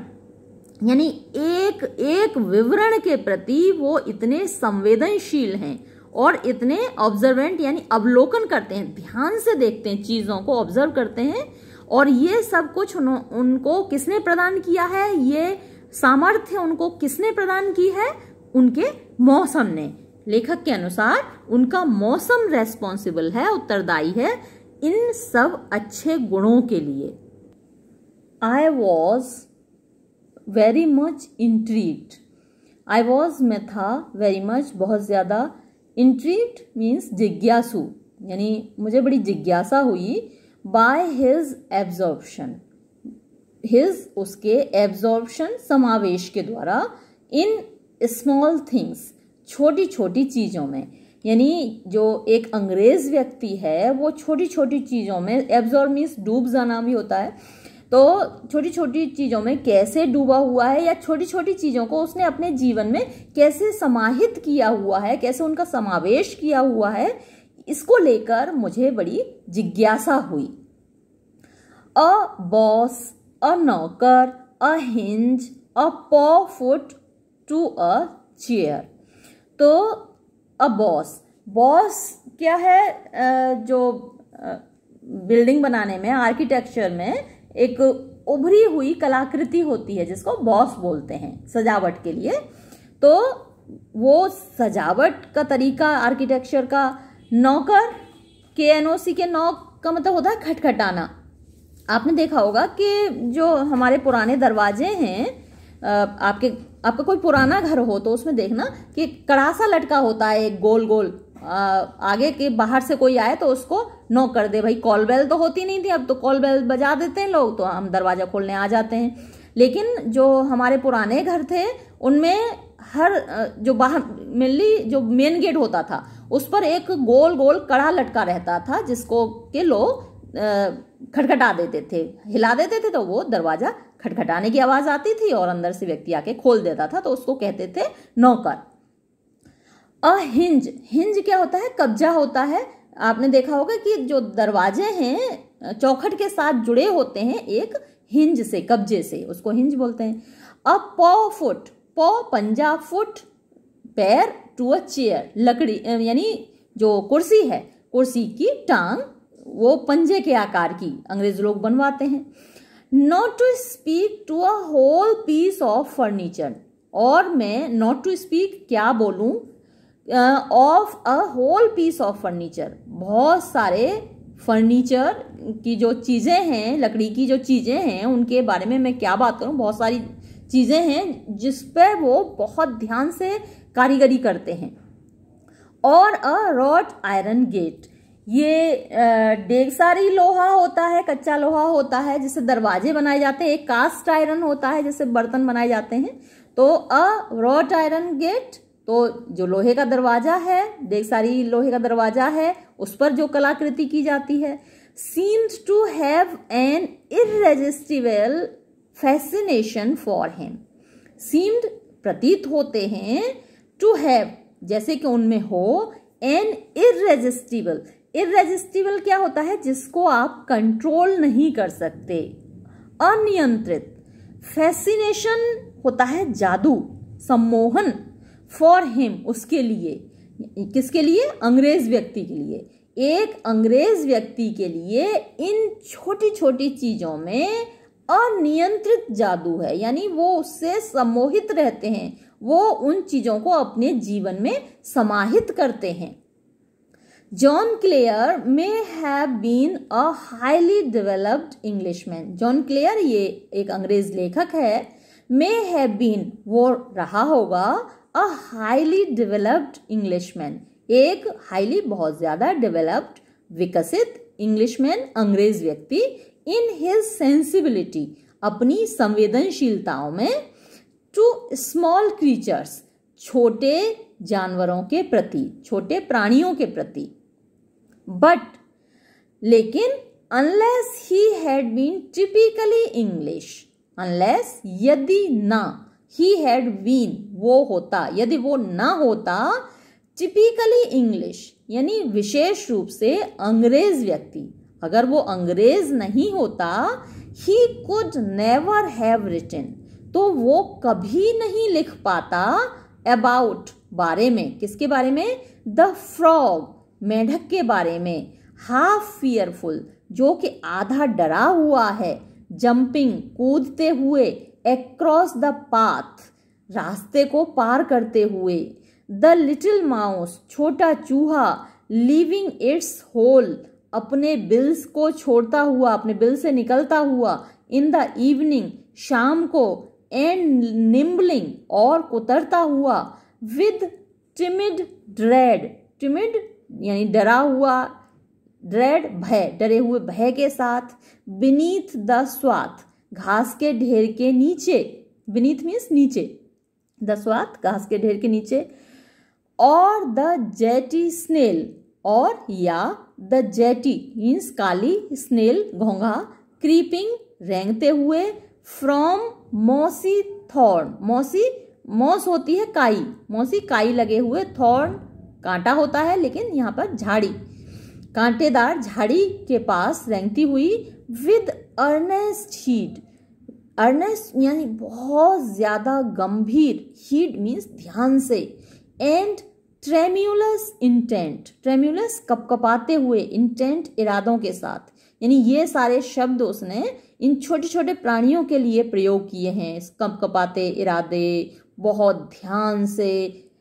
तो आई सो मैंने देखा सम ऑफ़ दिस इंटरेस्ट इस रुचि में से कुछ, यानी ये रुचियाँ कुछ देखी मैंने, इन लिटिल थिंग्स छोटी छोटी चीज़ों में एंड इट सीम्ड और ये लगा to lend an extraordinary zest कि टू लैंड मीन्स प्रदान करना, और मुझे ऐसा लगा कि इन छोटी छोटी चीज़ों में जो रुचियाँ हैं, इन्होंने प्रदान किया है।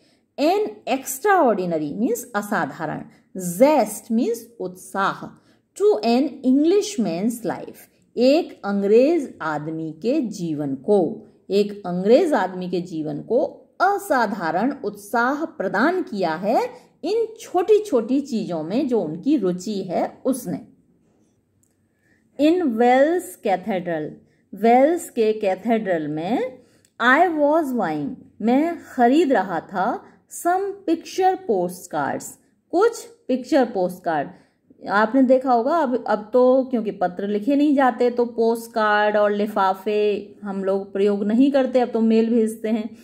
लेकिन जब हम पोस्ट कार्ड भेजा करते थे या लिफाफे भेजा करते थे तो बड़े अच्छे पोस्ट कार्ड आते थे जिन पर की तस्वीरें छपी होती थी। जैसे आप अगर ताजमहल घूमने जाएँ तो वहाँ पर पोस्ट कार्ड मिलते थे जिन पर ताजमहल की तस्वीर बनी होती थी या दिल्ली जाएँ, लाल किले की तस्वीर बनी होती थी। कहीं भी जाएँ किसी बड़ी जगह घूमने जाएँ तो वहाँ पर पोस्ट कार्ड मिलते थे जिन पर कि उस जगह की तस्वीरें बनी होती थी।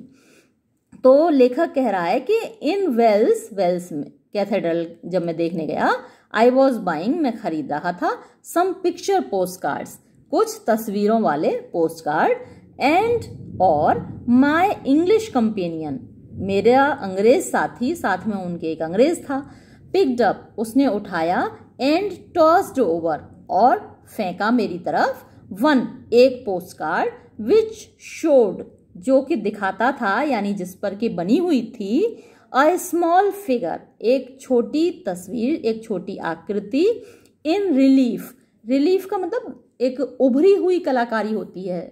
यानी अब आप अपने हाथ से उसको टच करें तो उभरी हुई लगती है वो।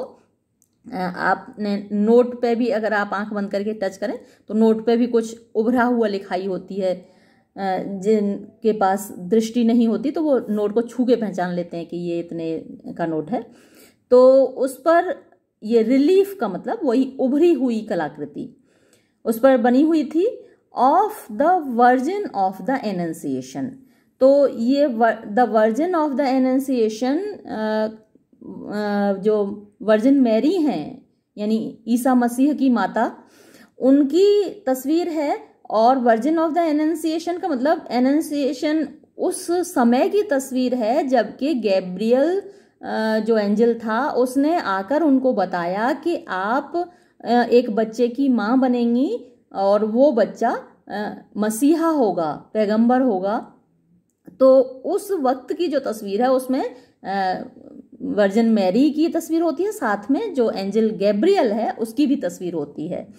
तो ये तस्वीर उस पर बनी हुई थी, the virgin of the annunciation यानी जिस वक्त वर्जन मैरी को ये सूचना दी गई थी कि आप एक बच्चे की माँ बनेंगी।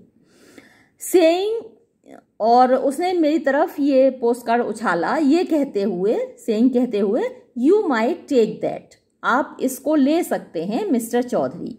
यानी सिंह चौधरी, जो हमारे लेखक हैं, उनको कहा उस अंग्रेज़ ने कि आप ये वाला पोस्ट कार्ड ले सकते हैं। माई ओन चॉइस और मेरी खुद की जो चॉइस थी, जो मैंने पोस्ट कार्ड चुना था ऑन द कॉन्ट्रेरी इसके विपरीत जो मेरी चॉइस थी, यानी लेखक ने जो पोस्ट कार्ड चुना था, वो था was for the views of the whole building ऐसे पोस्ट कार्ड उसने चुने थे लेखक ने जिसमें कि पूरी बिल्डिंग का, पूरी इमारत का व्यू था, चित्र था। एट कैम्ब्रिज अगेन और पुनः कैम्ब्रिज में a very famous English writer, एक बहुत प्रसिद्ध अंग्रेज़ लेखक आज मी। उसने मुझे पूछा वेन ही हर्ड जब उसने सुना दैट के आई हैड जस्ट बीन मैं अभी अभी गया था to the Fitzwilliam museum Fitzwilliam museum में ये कैम्ब्रिज में है फिट्स विलियम म्यूज़ियम तो जब उसने सुना कि मैं फिट्स विलियम म्यूज़ियम गया था, वेदर, कि क्या आई हैड सीन मैंने देखा था अ लिटिल पिक्चर एक छोटी तस्वीर फ्रॉम अ प्रिडेला पीस एक प्रिडेला पीस की। यानी प्रिडेला पीस क्या होता है? वेदी होती है या मंच होता है या मूर्ति होती है, उसके पीछे जो चित्रकारी होती है, उसको प्रिडेला पीस बोलते हैं। तो क्या मैंने वो तस्वीर देखी थी मूर्ति के पीछे की चित्रकारी by Domenico Veneziano? Domenico Veneziano, ये इटालियन पेंटर है रेनेसा पीरियड का। तो क्या मैंने वो देखी थी पेंटिंग एज इट हैपेंड जैसा कि हुआ आई हैड नोटिस्ड मैंने ध्यान दिया था, मैंने देखा था द एनंसिएशन एनंसिएशन को, यानी कि वो जो तस्वीर थी वर्जिन मैरी की and even bought a picture postcard of it और इसका पिक्चर पोस्ट कार्ड भी खरीदा था। बट लेकिन ही वॉज़ रेफरिंग वो बात कर रहा था टू एनदर पिक्चर एक और तस्वीर की। सो आई वेंट अगेन इसलिए मैं फिर गया एंड फाउंड इट और इसको पाया टू वी वन एक ऐसी तस्वीर which was quite familiar to me जो मेरी पूरी तरीके से परिचित थी, जिससे मैं परिचित था फ्रॉम अ रिप्रोडक्शन एक रिप्रोडक्शन के माध्यम से रिप्रोडक्शन क्या होता है? रेप्लिका होती है, जैसे कि आप अगर आगरा आते हैं, ताजमहल घूमने जाते हैं तो वहाँ पर छोटे छोटे आपको ताजमहल मिलेंगे, उनको रिप्रोडक्शन या रेप्लिका बोलते हैं। आ, कुछ लोगों के घरों में जैसे आपने मोनालिसा की तस्वीर देखी होगी तो वो उसका रिप्रोडक्शन होता है रेप्लिका होती है उसी की। तो from a reproduction I had at home तो उसकी एक रिप्रोडक्शन यानी आप हिंदी में बोलें तो प्रतिकृति बोल सकते हैं इसको। उसकी एक प्रतिकृति से जो कि मेरे पास घर में थी आई हैड एट होम मेरे घर पे थी। बट लेकिन which I had quite unaccountably overlooked लेकिन जिसको के आई हैड क्वाइट अनअकाउंटेबली यानी बड़े साधारण ढंग से बिना किसी वजह के मैंने उसको ओवरलुक किया था, यानी अनदेखा किया था। इट वॉज़ द पिक्चर ये तस्वीर थी of the miracle of Saint Genovius miracle चमत्कार ऑफ़ सेंट जेनोवियस जो सेंट्स हुए हैं क्रिश्चियनिटी में बहुत सारे और उन्होंने बड़े बड़े चमत्कार किए हैं, जैसे सेंट जेनोबियस ये मरे हुए लोगों को पुनः ज़िंदा कर देते थे, बीमार लोगों को अच्छा कर देते थे। तो इस प्रकार के चमत्कार ईसाई धर्म में संतों के द्वारा किए जाते हैं। ईसाई धर्म में क्या मुझे लगता है कि शायद सभी धर्मों में ऐसी बातें होती हैं कि अब उन्होंने किसी बीमार को छू लिया तो वो अच्छा हो गया, किसी मृत व्यक्ति को छू लिया, उसको जीवन दान दे दिया। जैसे कि हमारे श्री कृष्ण जी ने भी परीक्षित को जीवन दान दिया था, जब परीक्षित को वो ब्रह्मास्त्र लग गया था और वो, उसकी मृत्यु हो गई थी तो उसको श्री कृष्ण ने जीवन दान दिया था। तो ऐसे चमत्कार हर धर्म में पाए जाते हैं। तो ये एक तस्वीर थी it was the picture of the miracle of Saint Zenobius तो सेंट जेनोबियस के एक चमत्कार की ये तस्वीर थी। The same characteristic the same यही करेक्टरिस्टिक विशेषता इज़ इलस्ट्रेटेड दिखाई देती है, परिलक्षित होती है by the extraordinary sensitiveness extraordinary असाधारण. सेंसिटिवनेस संवेदनशीलता. That the English people show that जो कि द इंग्लिश पीपल अंग्रेज़ लोग शो दिखाते हैं, प्रदर्शित करते हैं to the inherent attributes inherent, छिपे हुए, निहित एट्रीब्यूट्स गुण ऑफ़ वुड लकड़ी के स्टोन पत्थर के मेटल धातु के और ग्लास या कांच के। यानी लकड़ी में, पत्थर में, धातु में और कांच में जो गुण हैं, उनके प्रति अंग्रेज़ लोग जो संवेदनशीलता प्रदर्शित करते हैं, उसमें भी यही विशेषता दिखाई देती है। दे सीम वो प्रतीत होते हैं टू बी ड्रॉन खींचते हुए बाय देम उनके द्वारा। यानी लकड़ी उन्हें खींचती है, पत्थर उन्हें खींचता है, धातुएँ उन्हें खींचती हैं और कांच उनको खींचता है। They seem to be drawn by them वो उनसे खींचते हुए, उनकी तरफ़ खींचते हुए प्रतीत होते हैं एज वैसे ही जैसे कि कैट्स आर बिल्लियाँ खिंची चली जाती हैं बाय द टेक्सचर बनावट के द्वारा टेक्सचर मीन्स बनावट या बुनावट के द्वारा ऑफ़ वेलवेट वेलवेट मलमल की एंड सैटिन सैटिन भी एक कपड़ा होता है, बहुत मुलायम होता है। तो ये जो मुलायम कपड़े हैं, इनकी बुनावट की ओर जैसे बिल्लियाँ खिंची चली जाती हैं, वैसे ही अंग्रेज़ लोग लकड़ी, पत्थर, धातु और कांच की चीज़ों की तरफ़ खिंचे चले जाते हैं। We in the tropics we हम इन द ट्रॉपिक्स यानी जो आ, हमारे कटिबंधीय क्षेत्र हैं ट्रॉपिक्स कहलाते हैं यानी ट्रॉपिक ऑफ़ कैंसर और ट्रॉपिक ऑफ़ कैप्रिकॉन कर्क रेखा और मकर रेखा के बीच का जो क्षेत्र है वो ट्रॉपिक्स कहलाता है। हम उसी के अंदर आते हैं। तो वी इन द ट्रॉपिक्स हम इन ट्रॉपिक्स क्षेत्र में ट्रॉपिक्स वाले क्षेत्र में यानी कि कटिबंधीय क्षेत्रों में would never have dreamed of कभी सोच भी नहीं सकते, सपने में भी नहीं सोच सकते ऑफ़ लिविंग छोड़ने का। द बीम्स बीम्स होती हैं, शहतीरें बीम के बीम तराजू को भी बोलते हैं, लकड़ी की तराजू भी होती है और बीम लकड़ी की शहतीरें भी होती हैं। एक्सपोज खुली हुई इन अ स्टेटली रूम एक शानदार कमरे में like the solar at Penshurst Place जैसे कि सोलर एक आ, कमरे का नाम है पेनहर्स्ट प्लेस इसके बारे में हम पहले बात हो चुकी है। तो ये जो सोलर है वो एक स्टेट डाइनिंग रूम है। बीच में बना हुआ है इस बिल्डिंग के बीच में पेनहर्स्ट प्लेस के बीच में। और of putting a bronze bushel या फिर हम ये भी नहीं सोच सकते पुट माने रखना।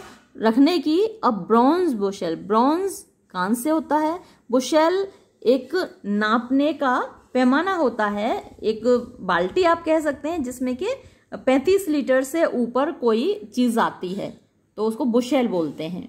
तो एक कांसे की बुशेल मेजर यानी नापने की जो बर्तन है इन इट इसमें, हम उस कमरे में नहीं छोड़ सकते। इवन दो चाहे ये it might have been cast ये बनी हुई हो।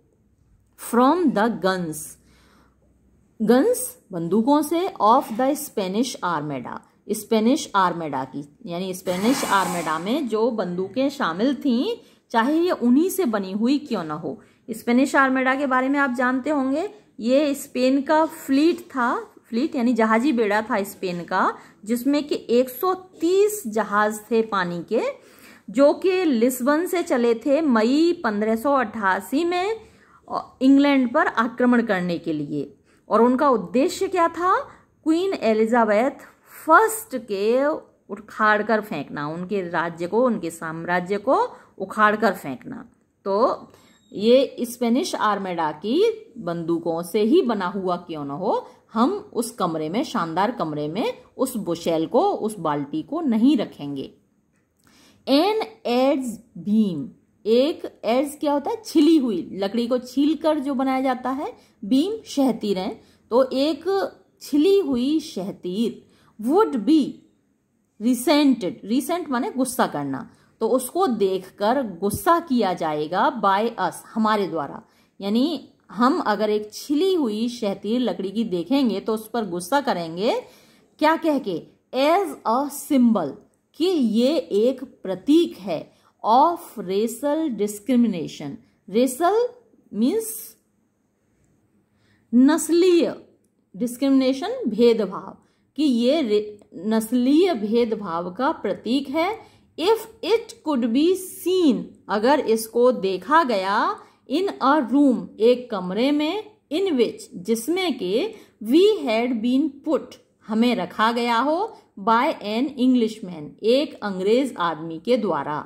यानी एक अंग्रेज़ आदमी के द्वारा हमें एक ऐसे कमरे में रखा गया हो जिसमें के एज्ड बीम, यानी छिली हुई लकड़ी की शहतीरें लगी हों। तो हम उस पर गुस्सा करेंगे कि ये जो शहतीरें हैं, वो रेसल डिस्क्रिमिनेशन का प्रतीक हैं, यानी नस्लीय भेदभाव का प्रतीक हैं। वो कैसे?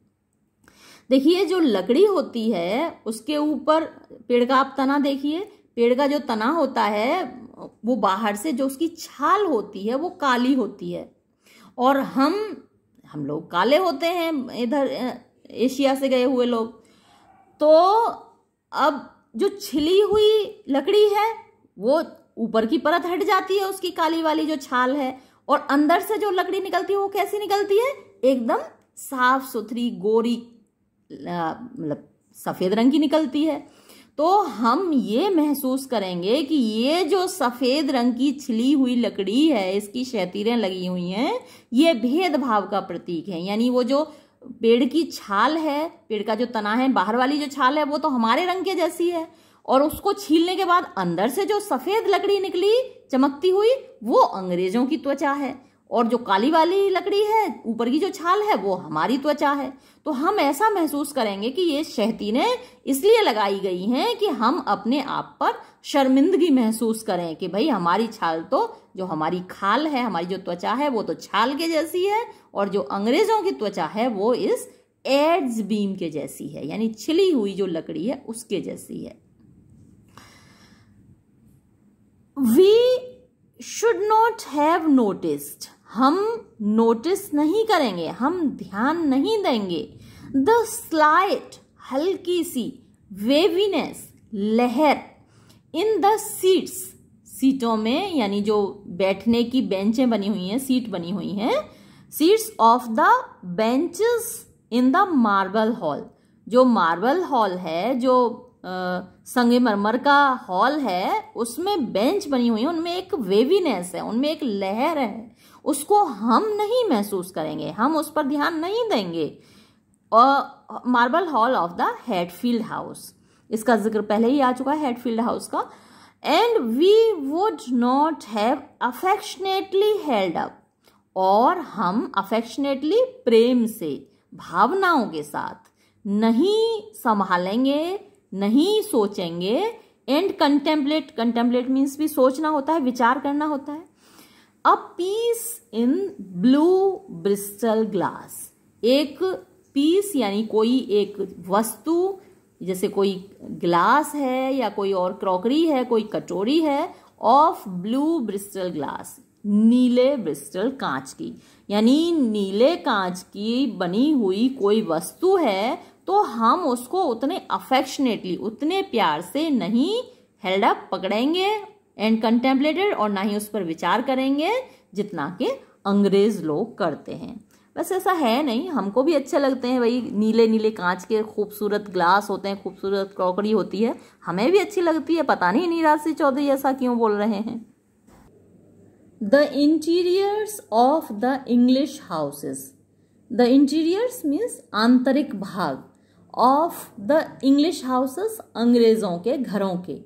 स्पेशली विशेष रूप से द ग्रेट वंस बड़े वाले, यानी महान लोगों के घर ऑल्सो गिव देते हैं एविडेंस यानी कि प्रमाण ऑफ़ द लव उस प्रेम का ऑफ़ कंक्रीट डिटेल्स जो कि सूक्ष्म विवरणों के प्रति होता है।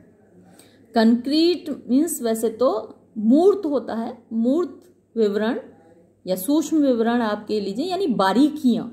बारीकियों के प्रति जो प्रेम होता है, वो दिखाई देता है अंग्रेज़ों के घरों के आंतरिक भाग में इंटीरियर्स में।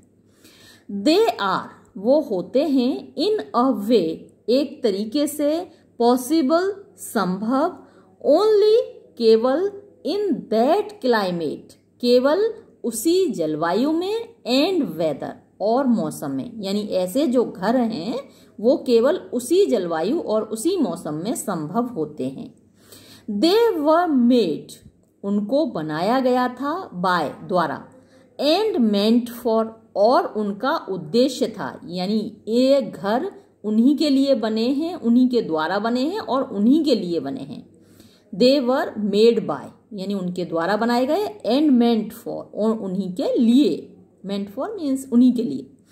अब पीपल एक ऐसे लोगों के लिए पीपल मतलब ऐसे देश के लोगों के लिए हु हैड टू स्पेंड जिनको के बिताना था। लॉन्ग इवनिंग्स लंबी शामें इंडोर्स घर के अंदर।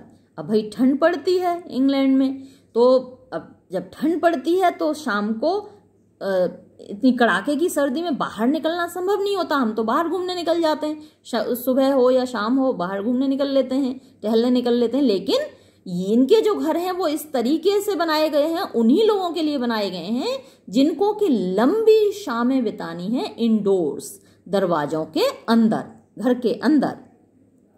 समटाइम्स कभी कभी डे आफ्टर डे एक दिन के बाद दूसरे दिन। यानी कभी कभी ऐसा होता है कि वो दो दो तीन तीन दिन नहीं निकल पाते। जब बर्फबारी होती है, तेज बर्फीले तूफ़ान आते हैं दिसंबर, जनवरी के महीने में अक्सर वहाँ बहुत कड़ाके की सर्दी पड़ती है और लोग दो दो दिन घर से बाहर नहीं निकल पाते।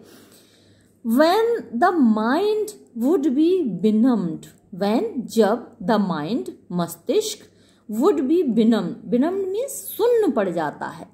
बाय इट्स ओन एम्प्टीनेस अपने खुद के खालीपन से। एम्प्टीनेस भाई, जब घर में बंद रहोगे पूरे टाइम तो क्या करोगे? दिमाग खाली होगा और खाली दिमाग शैतान का घर। अभी तो खाली हम लोग नहीं होते क्योंकि टीवी होता है मोबाइल होता है, बहुत सारी चीज़ें होती हैं। लेकिन ये थोड़ी बात पुरानी चल रही है कि उस वक्त दिमाग एकदम खाली होता है और वो सुन्न पड़ जाता है। अनलेस इट कुड क्रॉल यदि वो ना रेंग सके क्रॉल मीन्स रेंगना होता है। अनलेस यदि ना इट ये ये मतलब दिमाग, हमारा दिमाग। अगर वो ना रेंग सके, ना चल सके from one object to another एक वस्तु से दूसरी वस्तु की ओर। यानी उसे कुछ देखने को, कुछ करने को ना मिले तो वो दिमाग सुन्न पड़ जाता है। Along a continuous chain of interest यानी उसको चलने को ना मिले। अलोंग मीन साथ में। किसके साथ में? अ कंटिन्यूस एक अनवरत, लगातार अनवरत चेन चेन तो आप जानते हैं, कड़ी, एक के बाद एक कड़ी जो होती हैं। लगातार अनवरत कड़ियों में ऑफ़ इंटरेस्ट मीन्स अभिरुचि की। फर्नीचर यानी या तो सामने ऐसा फर्नीचर हो जिस, जिसको हम देख सकें। चाइना ये चाइना देश नहीं चाइना की बनी हुई चीज़ें। हर जगह पाई जाती हैं बोन चाइना की बनी हुई चीज़ें या चाइना किले की, चीनी मिट्टी की बनी हुई चीज़ें। तो या फिर चाइना की ये चीज़ें ना हो। ग्लास कांच की बनी हुई चीज़ें। प्लेट, तश्तरियाँ पिक्चर्स तस्वीरें ऑर्नामेंट्स सजावट की चीज़ें फायर प्लेसेस जहाँ जो इंग्लैंड में हर घर में आग जलती है, क्योंकि ठंडा है, आग जलाना घर में ज़रूरी होता है तो उसको फायर प्लेस बोलते हैं, और वो भी बड़ी अच्छी, अच्छे से बनाई जाती है, सजा के बनाई जाती है। एंड अदर फिक्सचर्स एंड और अदर दूसरे फिक्सचर्स यानी वो चीज़ें, वस्तुएँ फिक्स होती हैं, रखी होती हैं तो फिक्सचर्स बोलते हैं उनको, और दूसरी वस्तुएँ। यानी ऐसी वस्तुएँ अगर घर में ना हो, जिनको के देख सके दिमाग, जिनका अवलोकन कर सके तो वो सुन्न हो जाता है, अगर ऐसी चीज़ें ना हो। आई वॉज़ सरप्राइज़ मैं आश्चर्यचकित था टू फाइंड पाकर। हाउ कैसे? In the big private libraries बड़ी प्राइवेट मीन्स व्यक्तिगत। लाइब्रेरीज पुस्तकालयों में ऑफ़ द हाउसेस घरों के। बड़े पुस्तकालयों में, यानी घरों के, व्यक्तिगत पुस्तकालयों में द बुक्स किताबें बाउंड बंधी हुई यूनिफॉर्मली एकात्मक रूप से, एक तरीके से इन लेदर लेदर चमड़े से एंड स्टैंडिंग और खड़ी हुई साइड बाय साइड एक दूसरे से सटी हुई। वह एबल वो समर्थ थी, यानी वो किताबें समर्थ थी टू फिक्स द अटेंशन हमारे ध्यान को केंद्रित करने में टू फिक्स केंद्रित करने में द अटेंशन ध्यान को इंडिविजुअली व्यक्तिगत रूप से। इवन बिफोर इससे पहले भी के one had read the titles व्यक्ति उनके शीर्षक को पढ़े। यानी व्यक्ति उन किताबों को उठाए या उनके शीर्षक को पढ़े, उससे पहले ही वो ध्यान को आकर्षित कर लेती थी, केंद्रित कर लेती थी। दीज इंटीरियर्स ये आंतरिक भाग, यानी घरों के ये आंतरिक भाग वर स्टॉक्ड भरे हुए थे। ऑन द सेम प्रिंसिपल उसी सिद्धांत पर एज स्क्रिल्स नेस्ट जैसे कि गिलहरियों के घोंसले भरे होते हैं आर इन विंटर सर्दियों में। सर्दियों में गिलहरी का घोंसला भरा रहता है, उसमें मतलब वो गर्मी में ही इकट्ठा कर लेती है अपना भोजन, सर्दियों में निकलने का मौका नहीं मिलता तो वो अपना घोंसले को पूरा भर लेती है खाने की सामग्रियों से तो ऐसे ही अंग्रेज़ों के जो घर हैं, उसी सिद्धांत पर भरे होते हैं।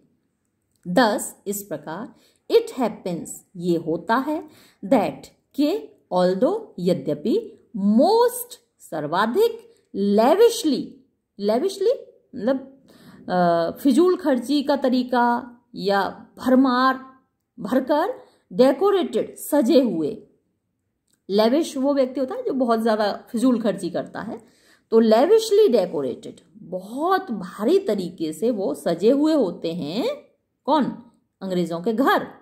दे डू नॉट बिकम वो नहीं बनते ऑप्रेसिव पीड़ादायक। और गिव एन इम्प्रेशन और ना ही वो देते हैं इम्प्रेशन आभास ऑफ़ ओवरलोडिंग ओवरलोड जब किसी चीज़ को ज़्यादा भर देते हैं तो वो ओवरलोड हो जाती है, ठूस ठूस ठास हो जाती है उसमें। तो अंग्रेज़ों के घरों में बहुत सारा सामान भरा होता है, लेकिन वो ओवरलोडिंग का कि ऐसा आभास नहीं देते कि वो ओवरलोड हो रहे हैं। ज़रूरत से ज़्यादा भरे हुए हैं। ठूस ठास का आभास नहीं देते। क्योंकि भाई वो बने ही इस तरीके से हैं और इस तरीके के लोगों के लिए बने हुए हैं कि वो लोग अपने घर से निकल नहीं पाते सर्दियों में, इसलिए उनके घरों में सामान ज़्यादा होता है। वैसा ही अगर हम अपने घरों में भर लेंगे, ज़्यादा ठूस ठास कर लेंगे सामान की तो जो हमारे घर हैं, वो ऑपरेसिव लगेंगे, वो पीड़ादायक लगेंगे। बहुत ज़्यादा सामान दिखेगा, कबाड़ा दिखेगा तो उनके घर ऐसे नहीं लगते। सच रूम्स ऐसे कमरे वुड बी हो जाएँगे अन अनएंड्योरेबल एंड्योर मीन्स सहन करना एंड्योरेबल सहन करने लायक।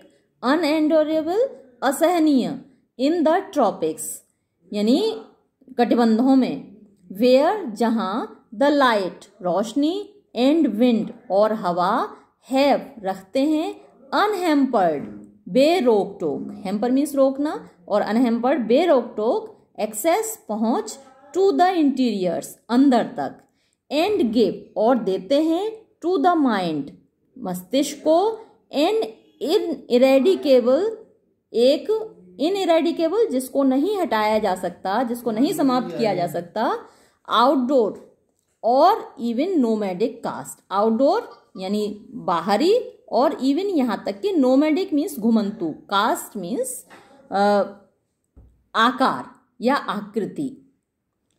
इन वेदर मौसम में लाइक आर्ट्स जैसा कि हमारा होता है even the sculptures of Chartres Chartres यानी फ्रांस की मूर्तियाँ भी, हमारे जैसे मौसम में तो फ्रांस की मूर्तियाँ भी वुड मर्ज शामिल हो जाएँगी मिक्सअप हो जाएँगी इन एन इनडिटर्मिनेट मास एक इनडिटर्मिनेट का मतलब होता है अस्थिर मास मीन्स ढेर ऑफ़ ऑर्नामेंट सजावटी चीज़ों का।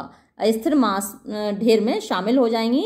And Saint Theodore and Saint और सेंट थियोडर और सेंट मोडेस्ट बिकम यानी सेंट मोडेस्ट बन जाएँगे मियर मीन्स केवल डेकोरेशन सजावट के सामान इंस्टेड ऑफ़ बजाय इंस्टेड ऑफ़ का मतलब होता है के बजाय बीइंग होने के द रेडियंट रेडियंट यानी आभावान, आपने देखा होगा कि जो बहुत पहुँचे हुए संत होते हैं या फिर देवी देवता होते हैं, उनके शरीर से और उनके चेहरे से एक आभा निकलती है, एक तेज निकलता है।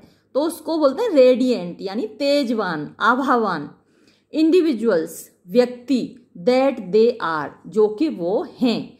यानी हमारे घरों में आके उनकी मूर्तियाँ केवल सजावट का सामान हो जाएँगी, बजाय उस आभावान व्यक्तित्व के, जो कि वो हैं। That may have been the reason that यही मे हैव बीन हो सकता है द रीजन कारण। वाई के आर स्कल्प्टर्स हमारे मूर्तिकार। वेन जब दे वॉन्टेड वो चाहते थे टू कंपेल बाध्य करना अस हमको टू नोटिस ध्यान देने के लिए। जब हमारे मूर्तिकार ये चाहते थे कि हम ध्यान दें देयर हैंडीवर्क उनके कार्य पर हैंडीवर्क उनके हाथ के कार्य पर, उनके हस्तशिल्प पर। कि हम उनकी मूर्तियों पर ध्यान दें तो वो क्या करते थे?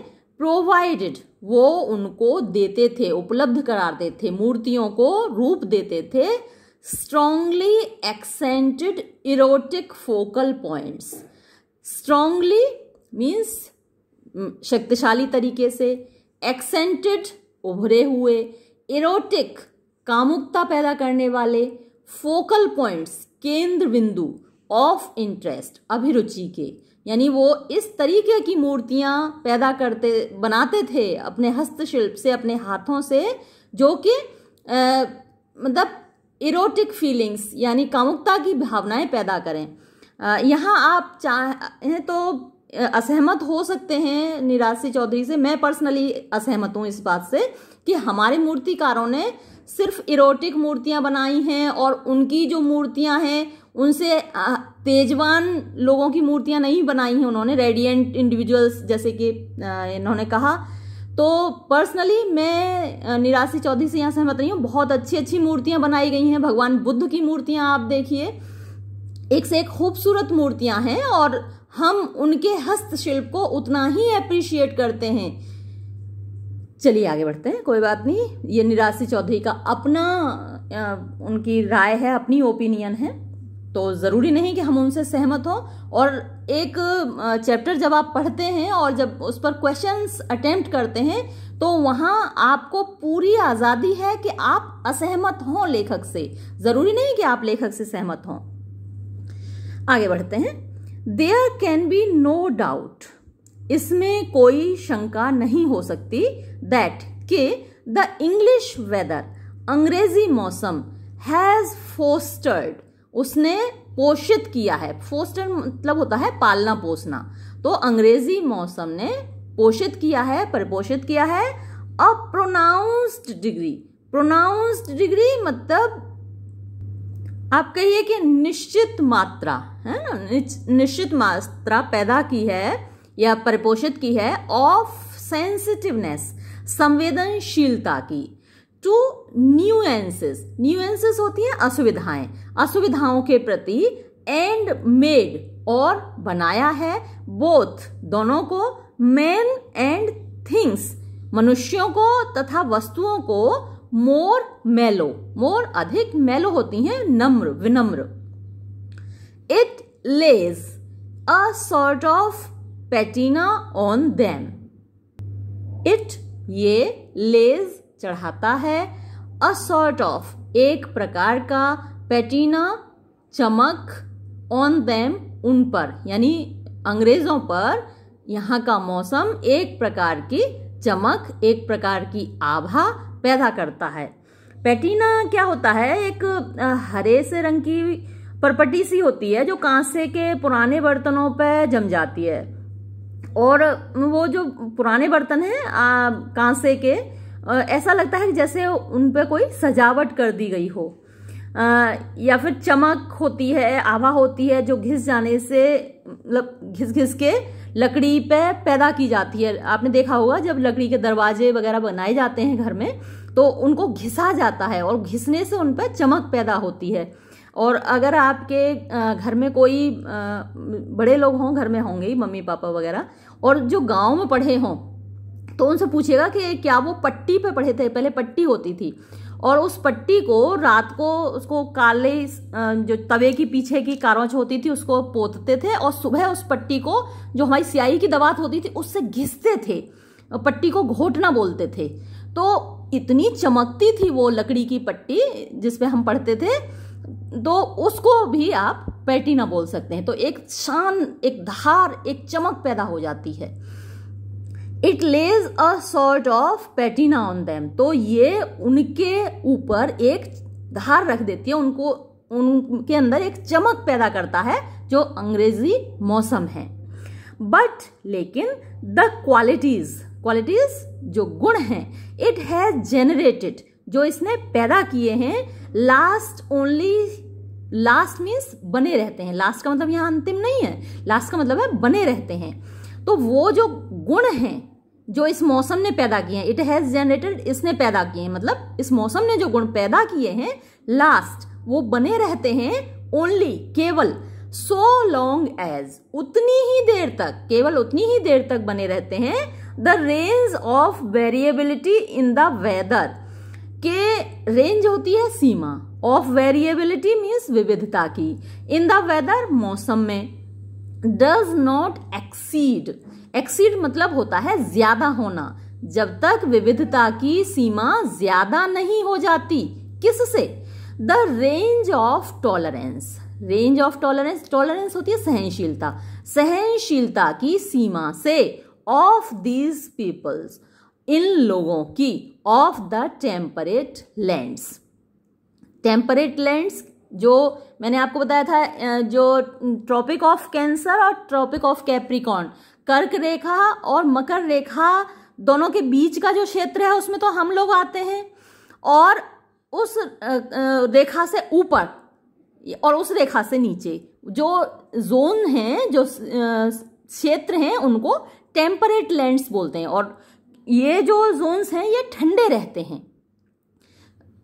नॉर्थ ऊपर की साइड भी ध्रुव की ओर ठंडा रहता है और नीचे के साउथ पोल की तरफ़ भी ठंडा रहता है तो उनको टेम्परेट लैंड्स बोलते हैं। तो ये जो टेम्परेट लैंड्स के लोग हैं, यानी शीतोष्ण प्रदेशों के, शीतोष्ण क्षेत्रों के जो लोग हैं, उनकी सहनशीलता की सीमा से मौसम जब तक आगे नहीं बढ़ जाता, तभी तक उनके ये गुण बने रहते हैं। इफ़ दे गो यदि वो जाते हैं इनटू हॉट कंट्रीज़ गर्म देशों में देयर रेफाइनमेंट्स देयर उनके, यानी ये ठंडे प्रदेशों के जो लोग हैं, उनके रेफाइनमेंट्स मतलब उनके संस्कार, उनकी अच्छे गुण वियर आउट वो घिस जाते हैं, समाप्त हो जाते हैं, खत्म हो जाते हैं। वियर आउट का मतलब घिस जाना होता है। तो उनके जो गुण हैं जो उनके संस्कार हैं वो समाप्त हो जाते हैं जब वो कहाँ जाते हैं? हॉट कंट्रीज़ में गर्म देशों में। And they tend to exhibit और टेंड टू मतलब वो झुक जाते हैं। टेंड टू मतलब होता है? टेंड मतलब झुक जाना। वो किधर झुक जाते हैं? टू एग्जिबिट प्रदर्शित करने की ओर। और, और वो क्या प्रदर्शित करने लगते हैं? द हार्ड कोर कठोर भाग, उनके अंदर एक जो कठोरता है, उसको दिखाने लगते हैं ऑफ़ देयर पर्सनैलिटी उनके व्यक्तित्व की। उनके व्यक्तित्व की जो कठोरता है, वो एग्जिबिट होने लगती है, वो प्रदर्शित होने लगती है। टर्निंग साउर एंड नैरो और टर्निंग मीन्स वो बदल जाते हैं साउर होता है खट्टा या फिर कड़वाहट, उनके अंदर कड़वाहट पैदा हो जाती है एंड नैरो। नैरो क्या होता है? संकीर्णता। संकीर्ण। तो उनके अंदर संकीर्णता पैदा हो जाती है। यानी इसका नैरो का अपोजिट होगा। ब्रॉड माइंडेडनेस यानी विशाल हृदयता। तो जब तक वो ठंडे देशों में रहते हैं, अपने क्षेत्र में रहते हैं तो विशाल हृदय होते हैं ब्रॉड माइंडेड होते हैं। और जैसे ही वो गर्म देशों में आ जाते हैं तो वो नैरो हो जाते हैं, संकीर्ण हो जाते हैं। बात कुछ हजम नहीं हुई वैसे निराशी चौधरी की। देखिए कि भाई जो जिसका स्वभाव अच्छा है ब्रॉड माइंडेड है, वो गर्म देशों में आके संकीर्ण हो जाएगा। चलिए, वो कह रहे हैं तो मान लेते हैं। It was not for nothing it was not for nothing मतलब यूँ ही नहीं था। It was not for nothing इसका मतलब है यूँ ही नहीं था। दैट के द टेन कमांडमेंट्स दस अध्यादेश वर सपोज्ड माने गए थे। टू बी नॉन एग्जिस्टेंट कि वो अस्तित्व में नहीं है। ईस्ट ऑफ़ स्वेज स्वेज नहर के पूर्व की ओर। ये टेन कमांडमेंट्स ये बाइबल के हैं अध्यादेश, और स्वेज कैनाल इसको आप जानते होंगे, भूमध्य सागर और लाल सागर को जोड़ती है स्वेज कैनाल। दो कैनाल्स हैं, आपने जनरल नॉलेज में पढ़ा होगा कम्पिटिटिव एग्ज़ाम्स की अगर आप तैयारी कर रहे हैं तो स्वेज कैनाल और पनामा कैनाल ये बहुत, दोनों ही बहुत इम्पोर्टेंट हैं। जो पनामा कैनाल है अटलांटिक सागर और प्रशांत महासागर को जोड़ती है और स्वेज कैनाल भूमध्य सागर और लाल सागर को जोड़ती है।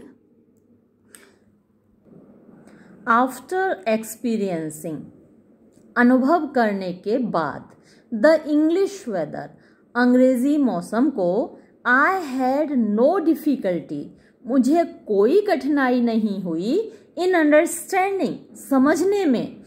वाई क्यों? इंग्लिश मैन अंग्रेज़ लोग बिकेम बन गए थे. सो so ऑफेंसिव इतने अत्याचारी इन इंडिया भारत में.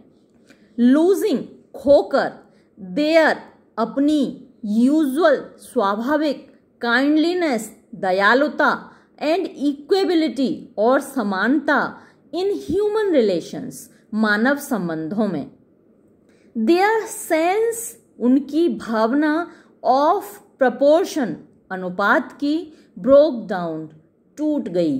द हैबिट आदत of understatement understatement means हल्के में लेने की डिसअपियर्ड गायब हो गई। एंड और दे बिकेम वो बन गए extremist अतिवादी with an incredible incredible means अविश्वसनीय स्ट्राइडेंसी स्ट्राइडेंसी क्या होता है? तीखापन। तो विद एन इनक्रेडिबल स्ट्राइडेंसी एक अविश्वसनीय तीखेपन के साथ इन देयर ओपिनियंस अपनी राय में। विच बिकेम जो बन गई रॉ एंड क्रूड रॉ होता है कच्चापन, और जब आदमी वयस्क हो जाता है तो वो उसमें एक राइपनेस आ जाती है, एक पक्कापन हो आ जाता है तो वो उनके अंदर क्या आ गया? रॉ कच्चापन एंड क्रूड क्रूड होता है भद्दा। यानी आदमी जब थोड़ा पढ़ लिख जाता है इंटेलिजेंट हो जाता है तो वो सफिस्टिकेटेड हो जाता है, और क्रूड का अपोजिट है सफिस्टिकेटेड तो वो पढ़े लिखे होने के बावजूद यहाँ पर क्रूड हो गए यानी असभ्य बन गए।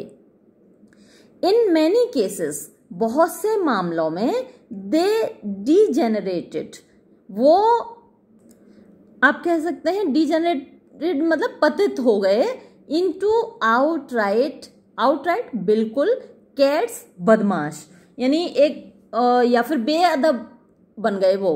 आ, बिल्कुल आउटराइट बिल्कुल कैट्स बेअदब आदमी बन गए।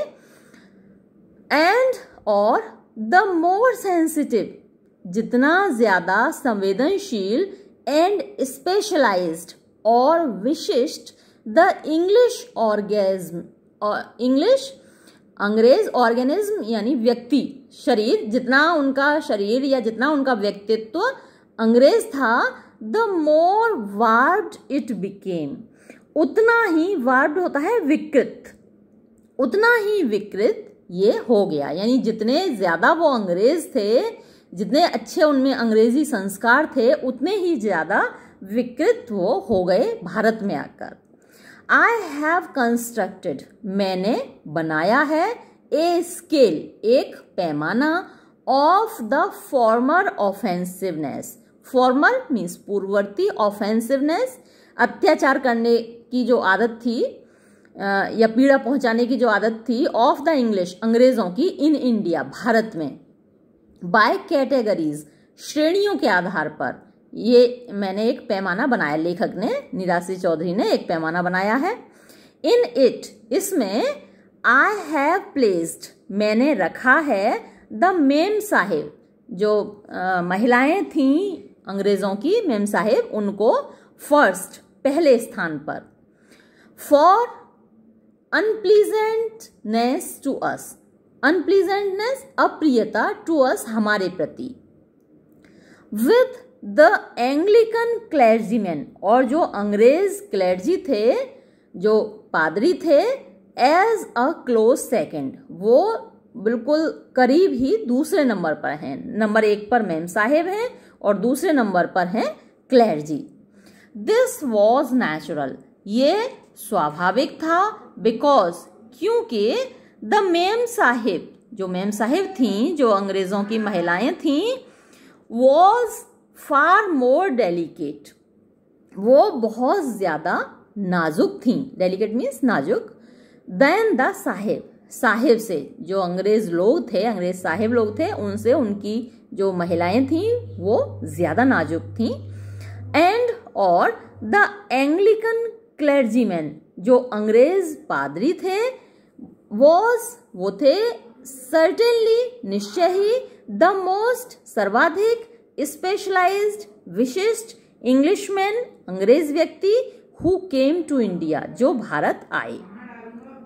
द इल नेचर्ड इल नेचर्ड बुरे स्वभाव की पीविशनेस चिड़चिड़ापन। बुरे स्वभाव का चिड़चिड़ापन ऑफ़ द विमेन महिलाओं का एंड और द अनचैरिटेबल दयाहीन। चैरिटी दया होती है अनचैरिटेबल दयाहीन।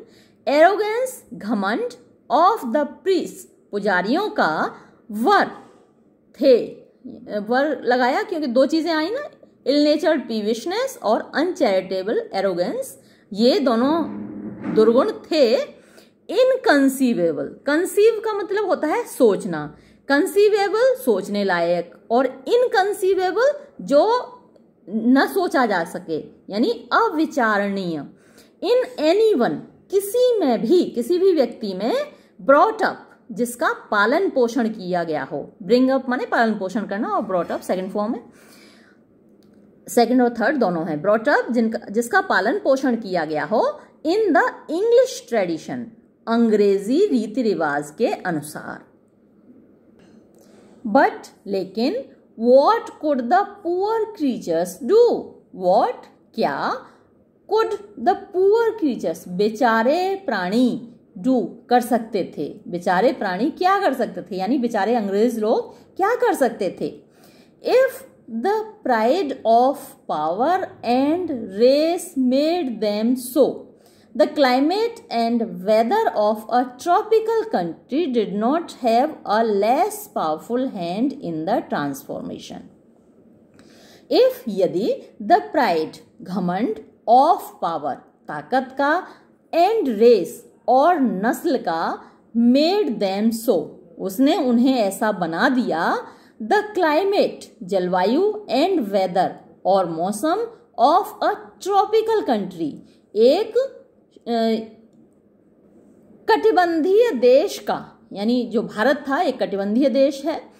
तो इस कटिबंधीय देश का did not have a less powerful hand इसका मतलब हुआ, उसका भी कम हाथ नहीं था, कम ताकतवर हाथ नहीं था। यहाँ के मौसम का भी कम ताकतवर हाथ नहीं था। इन द ट्रांसफॉर्मेशन, इस बदलाव में, इस परिवर्तन में, उनके स्वभाव में, उनके आचरण में, उनके व्यवहार में जो परिवर्तन आया, उसमें अगर उनकी पावर का और उस, उनकी नस्ल का हाथ था तो हमारे यहाँ के मौसम का भी कम हाथ नहीं था। Many of those Englishmen many बहुत से ऑफ़ दोज इंग्लिशमैन उन अंग्रेज़ लोगों में से हु केम जो आए टू सर्व सेवा करने के लिए इन इंडिया भारत में एज ऑफिसर्स अफसरों के रूप में। सिविल सर्वेंट्स या नागरिक सेवकों के रूप में। नाम तो सर्वेंट होता है लेकिन होता अफसर है वो सर, तो नागरिक सेवकों के रूप में या फिर अफसरों के रूप में यहाँ अपनी सेवाएँ देने आए नौकरी करने आए। और क्लर्जीमैन या फिर जो पादरी थे जो पुजारी थे हु हैव बीन सक्सेसफुल जो कि सफल रहे थे एंड इवन लवेबल और यहाँ तक कि प्यार करने लायक थे वोड हाउस और साकी हीरोज एट होम तो ये जो वोड हाउस हैं, ये भी एक लेखक हैं, और ये साकी हैं इनका नाम है हेक्टर ह्यू मुनरो और उनका पेन नेम साकी है तो वोड हाउस और साकी, इन दोनों लेखकों के जो हीरोज हैं, जो नायक हैं, उन्हीं की तरह होते ये भी कहाँ? एट होम अपने घर पर, यानी अपने देश में। तो जो लोग यहाँ पर आए, ये अंग्रेज़ लोग, जो यहाँ पर अफसर बनकर आए, या सिविल सर्वेंट बनकर आए, या क्लर्जी मैन बनकर आए, और यहाँ आकर उन्होंने इतना बुरा व्यवहार किया भारतीयों के साथ अगर वो अपने देश में होते तो वो कैसे होते? सक्सेसफुल एंड इवन लवेबल वो सफल और प्रिय होते, जैसे कि वोड हाउस और साकी के नायक हैं। उनके ड्रामाज में, उनकी कहानियों में, उनके जो नायक हैं, उनके जो हीरोज हैं, वैसे ही ये लोग भी होते। बट लेकिन whatever they might have been capable of standing up to their लेकिन वॉट एवर जो कुछ भी they might have been capable वो समर्थ रहे हों. Of standing up stand up का मतलब होता है बर्दाश्त करना. वो कुछ भी बर्दाश्त करने में सफल रहे हों देयर वहाँ पर, यानी अपने देश में है. इंक्लूडिंग ड्रेडफुल आंट्स जिनमें कि इंक्लूडिंग शामिल थी ड्रेडफुल आंट्स भयानक आंटियाँ, भयानक चाचियाँ, ताइयाँ, जो भी हैं.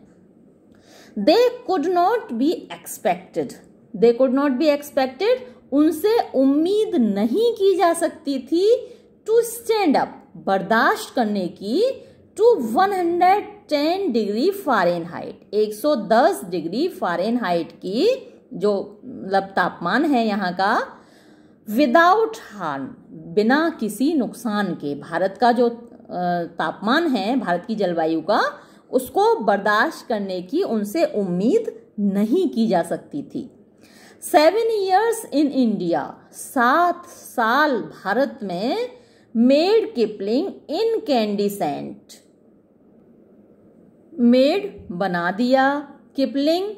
रुडियार्ड किपलिंग है, लेखक है, भारत के बारे में लिखता है। तो किपलिंग को इनकेंडिसेंट इनकेंडिसेंट होता है, बड़ा उत्साही। भारत को लेकर बड़ा उत्साही था रोडियार्ड किपलिंग। तो सात साल रहा वो भारत में तो उस सात साल के प्रवास ने किपलिंग को बना दिया इनकेंडिसेंट, बड़ा उत्साही।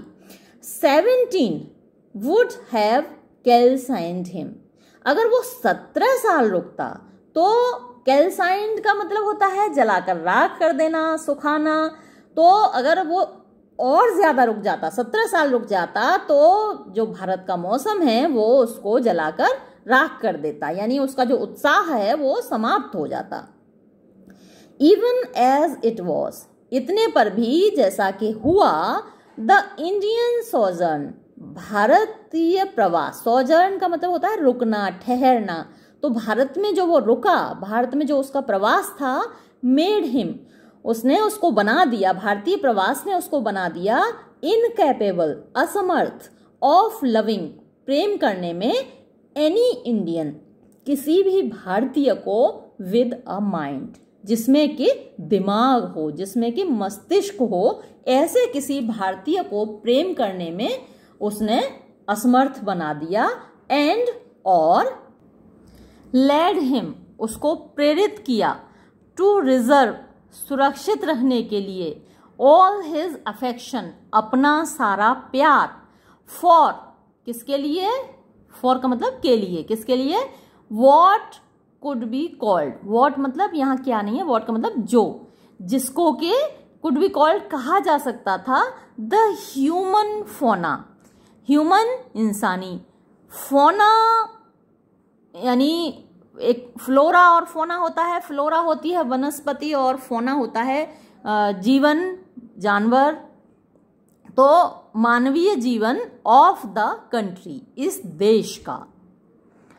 If a moral is to be drawn if यदि अमोरल कोई नैतिक पाठ, एक नैतिक पाठ इज़ टू बी ड्रॉन निकाला जाए, यानी कोई नैतिक निष्कर्ष निकाला जाए, नैतिक पाठ सीखा जाए फ्रॉम ऑल दिस इस सबसे, यानी अभी जो जितना डिस्कशन हुआ है, जितनी परिचर्चा हुई है यदि उस सबसे कोई निष्कर्ष निकाला जाए it is a simple one तो ये निष्कर्ष बड़ा साधारण है। और क्या है वो? नेवर डिमांड कभी भी मांग मत करना। मोर ज़्यादा की। फ्रॉम द स्पिरिट आत्मा से। देन उससे, यानी अपेक्षाकृत the flesh has the power flesh यानी शरीर हैज़ द पावर शक्ति रखता है टू गिव देने की। यानी शरीर में जितनी देने की शक्ति है, उससे ज़्यादा मत मांगना आत्मा से। एंड नेवर नेवर और कभी नहीं, कभी भी नहीं इन एनी सर्कमस्टांसेस कैसी भी परिस्थितियों में सीख कोशिश करना। सीख माने वैसे तलाश करना होता है, लेकिन यहाँ पर जो इसका अर्थ लगेगा वो होगा कोशिश करना। तो never never in any circumstances कभी नहीं, कभी भी नहीं, किसी भी परिस्थिति में सीख, कोशिश करना। To put asunder put asunder का मतलब हो, हुआ अलग करना। अलग करने की कभी कोशिश मत करना। दोज उनको। हुम जिनको। गॉड और नेचर, ईश्वर या प्रकृति ने has joined together has joined मिलाया है टुगेदर साथ में। ईश्वर ने और प्रकृति ने जिनको साथ में मिलाया है, उनको कभी अलग करने की कोशिश नहीं करना। फॉर इंस्टेंस उदाहरण के लिए the Englishman and his weather अंग्रेज़ और उनका मौसम। यानी अंग्रेज़ों को उनके मौसम से कभी अलग करने की कोशिश मत करना। अरे तो भाई, हमने कहा किया? खुद ही आए ना। किसने कहा था कि यहाँ आओ, भारत को लूट के ले जाओ? खुद आए, अपने मौसम से अलग हुए। खुद भी परेशान हुए, हमें भी परेशान किया, चलो। अंत भला तो सब भला। वो भी गए और हम भी आज़ाद हैं। यहाँ पर ये अध्याय समाप्त होता है। उम्मीद है आपको समझ में आया होगा। अगला अध्याय अगले वीडियो में तब तक के लिए धन्यवाद।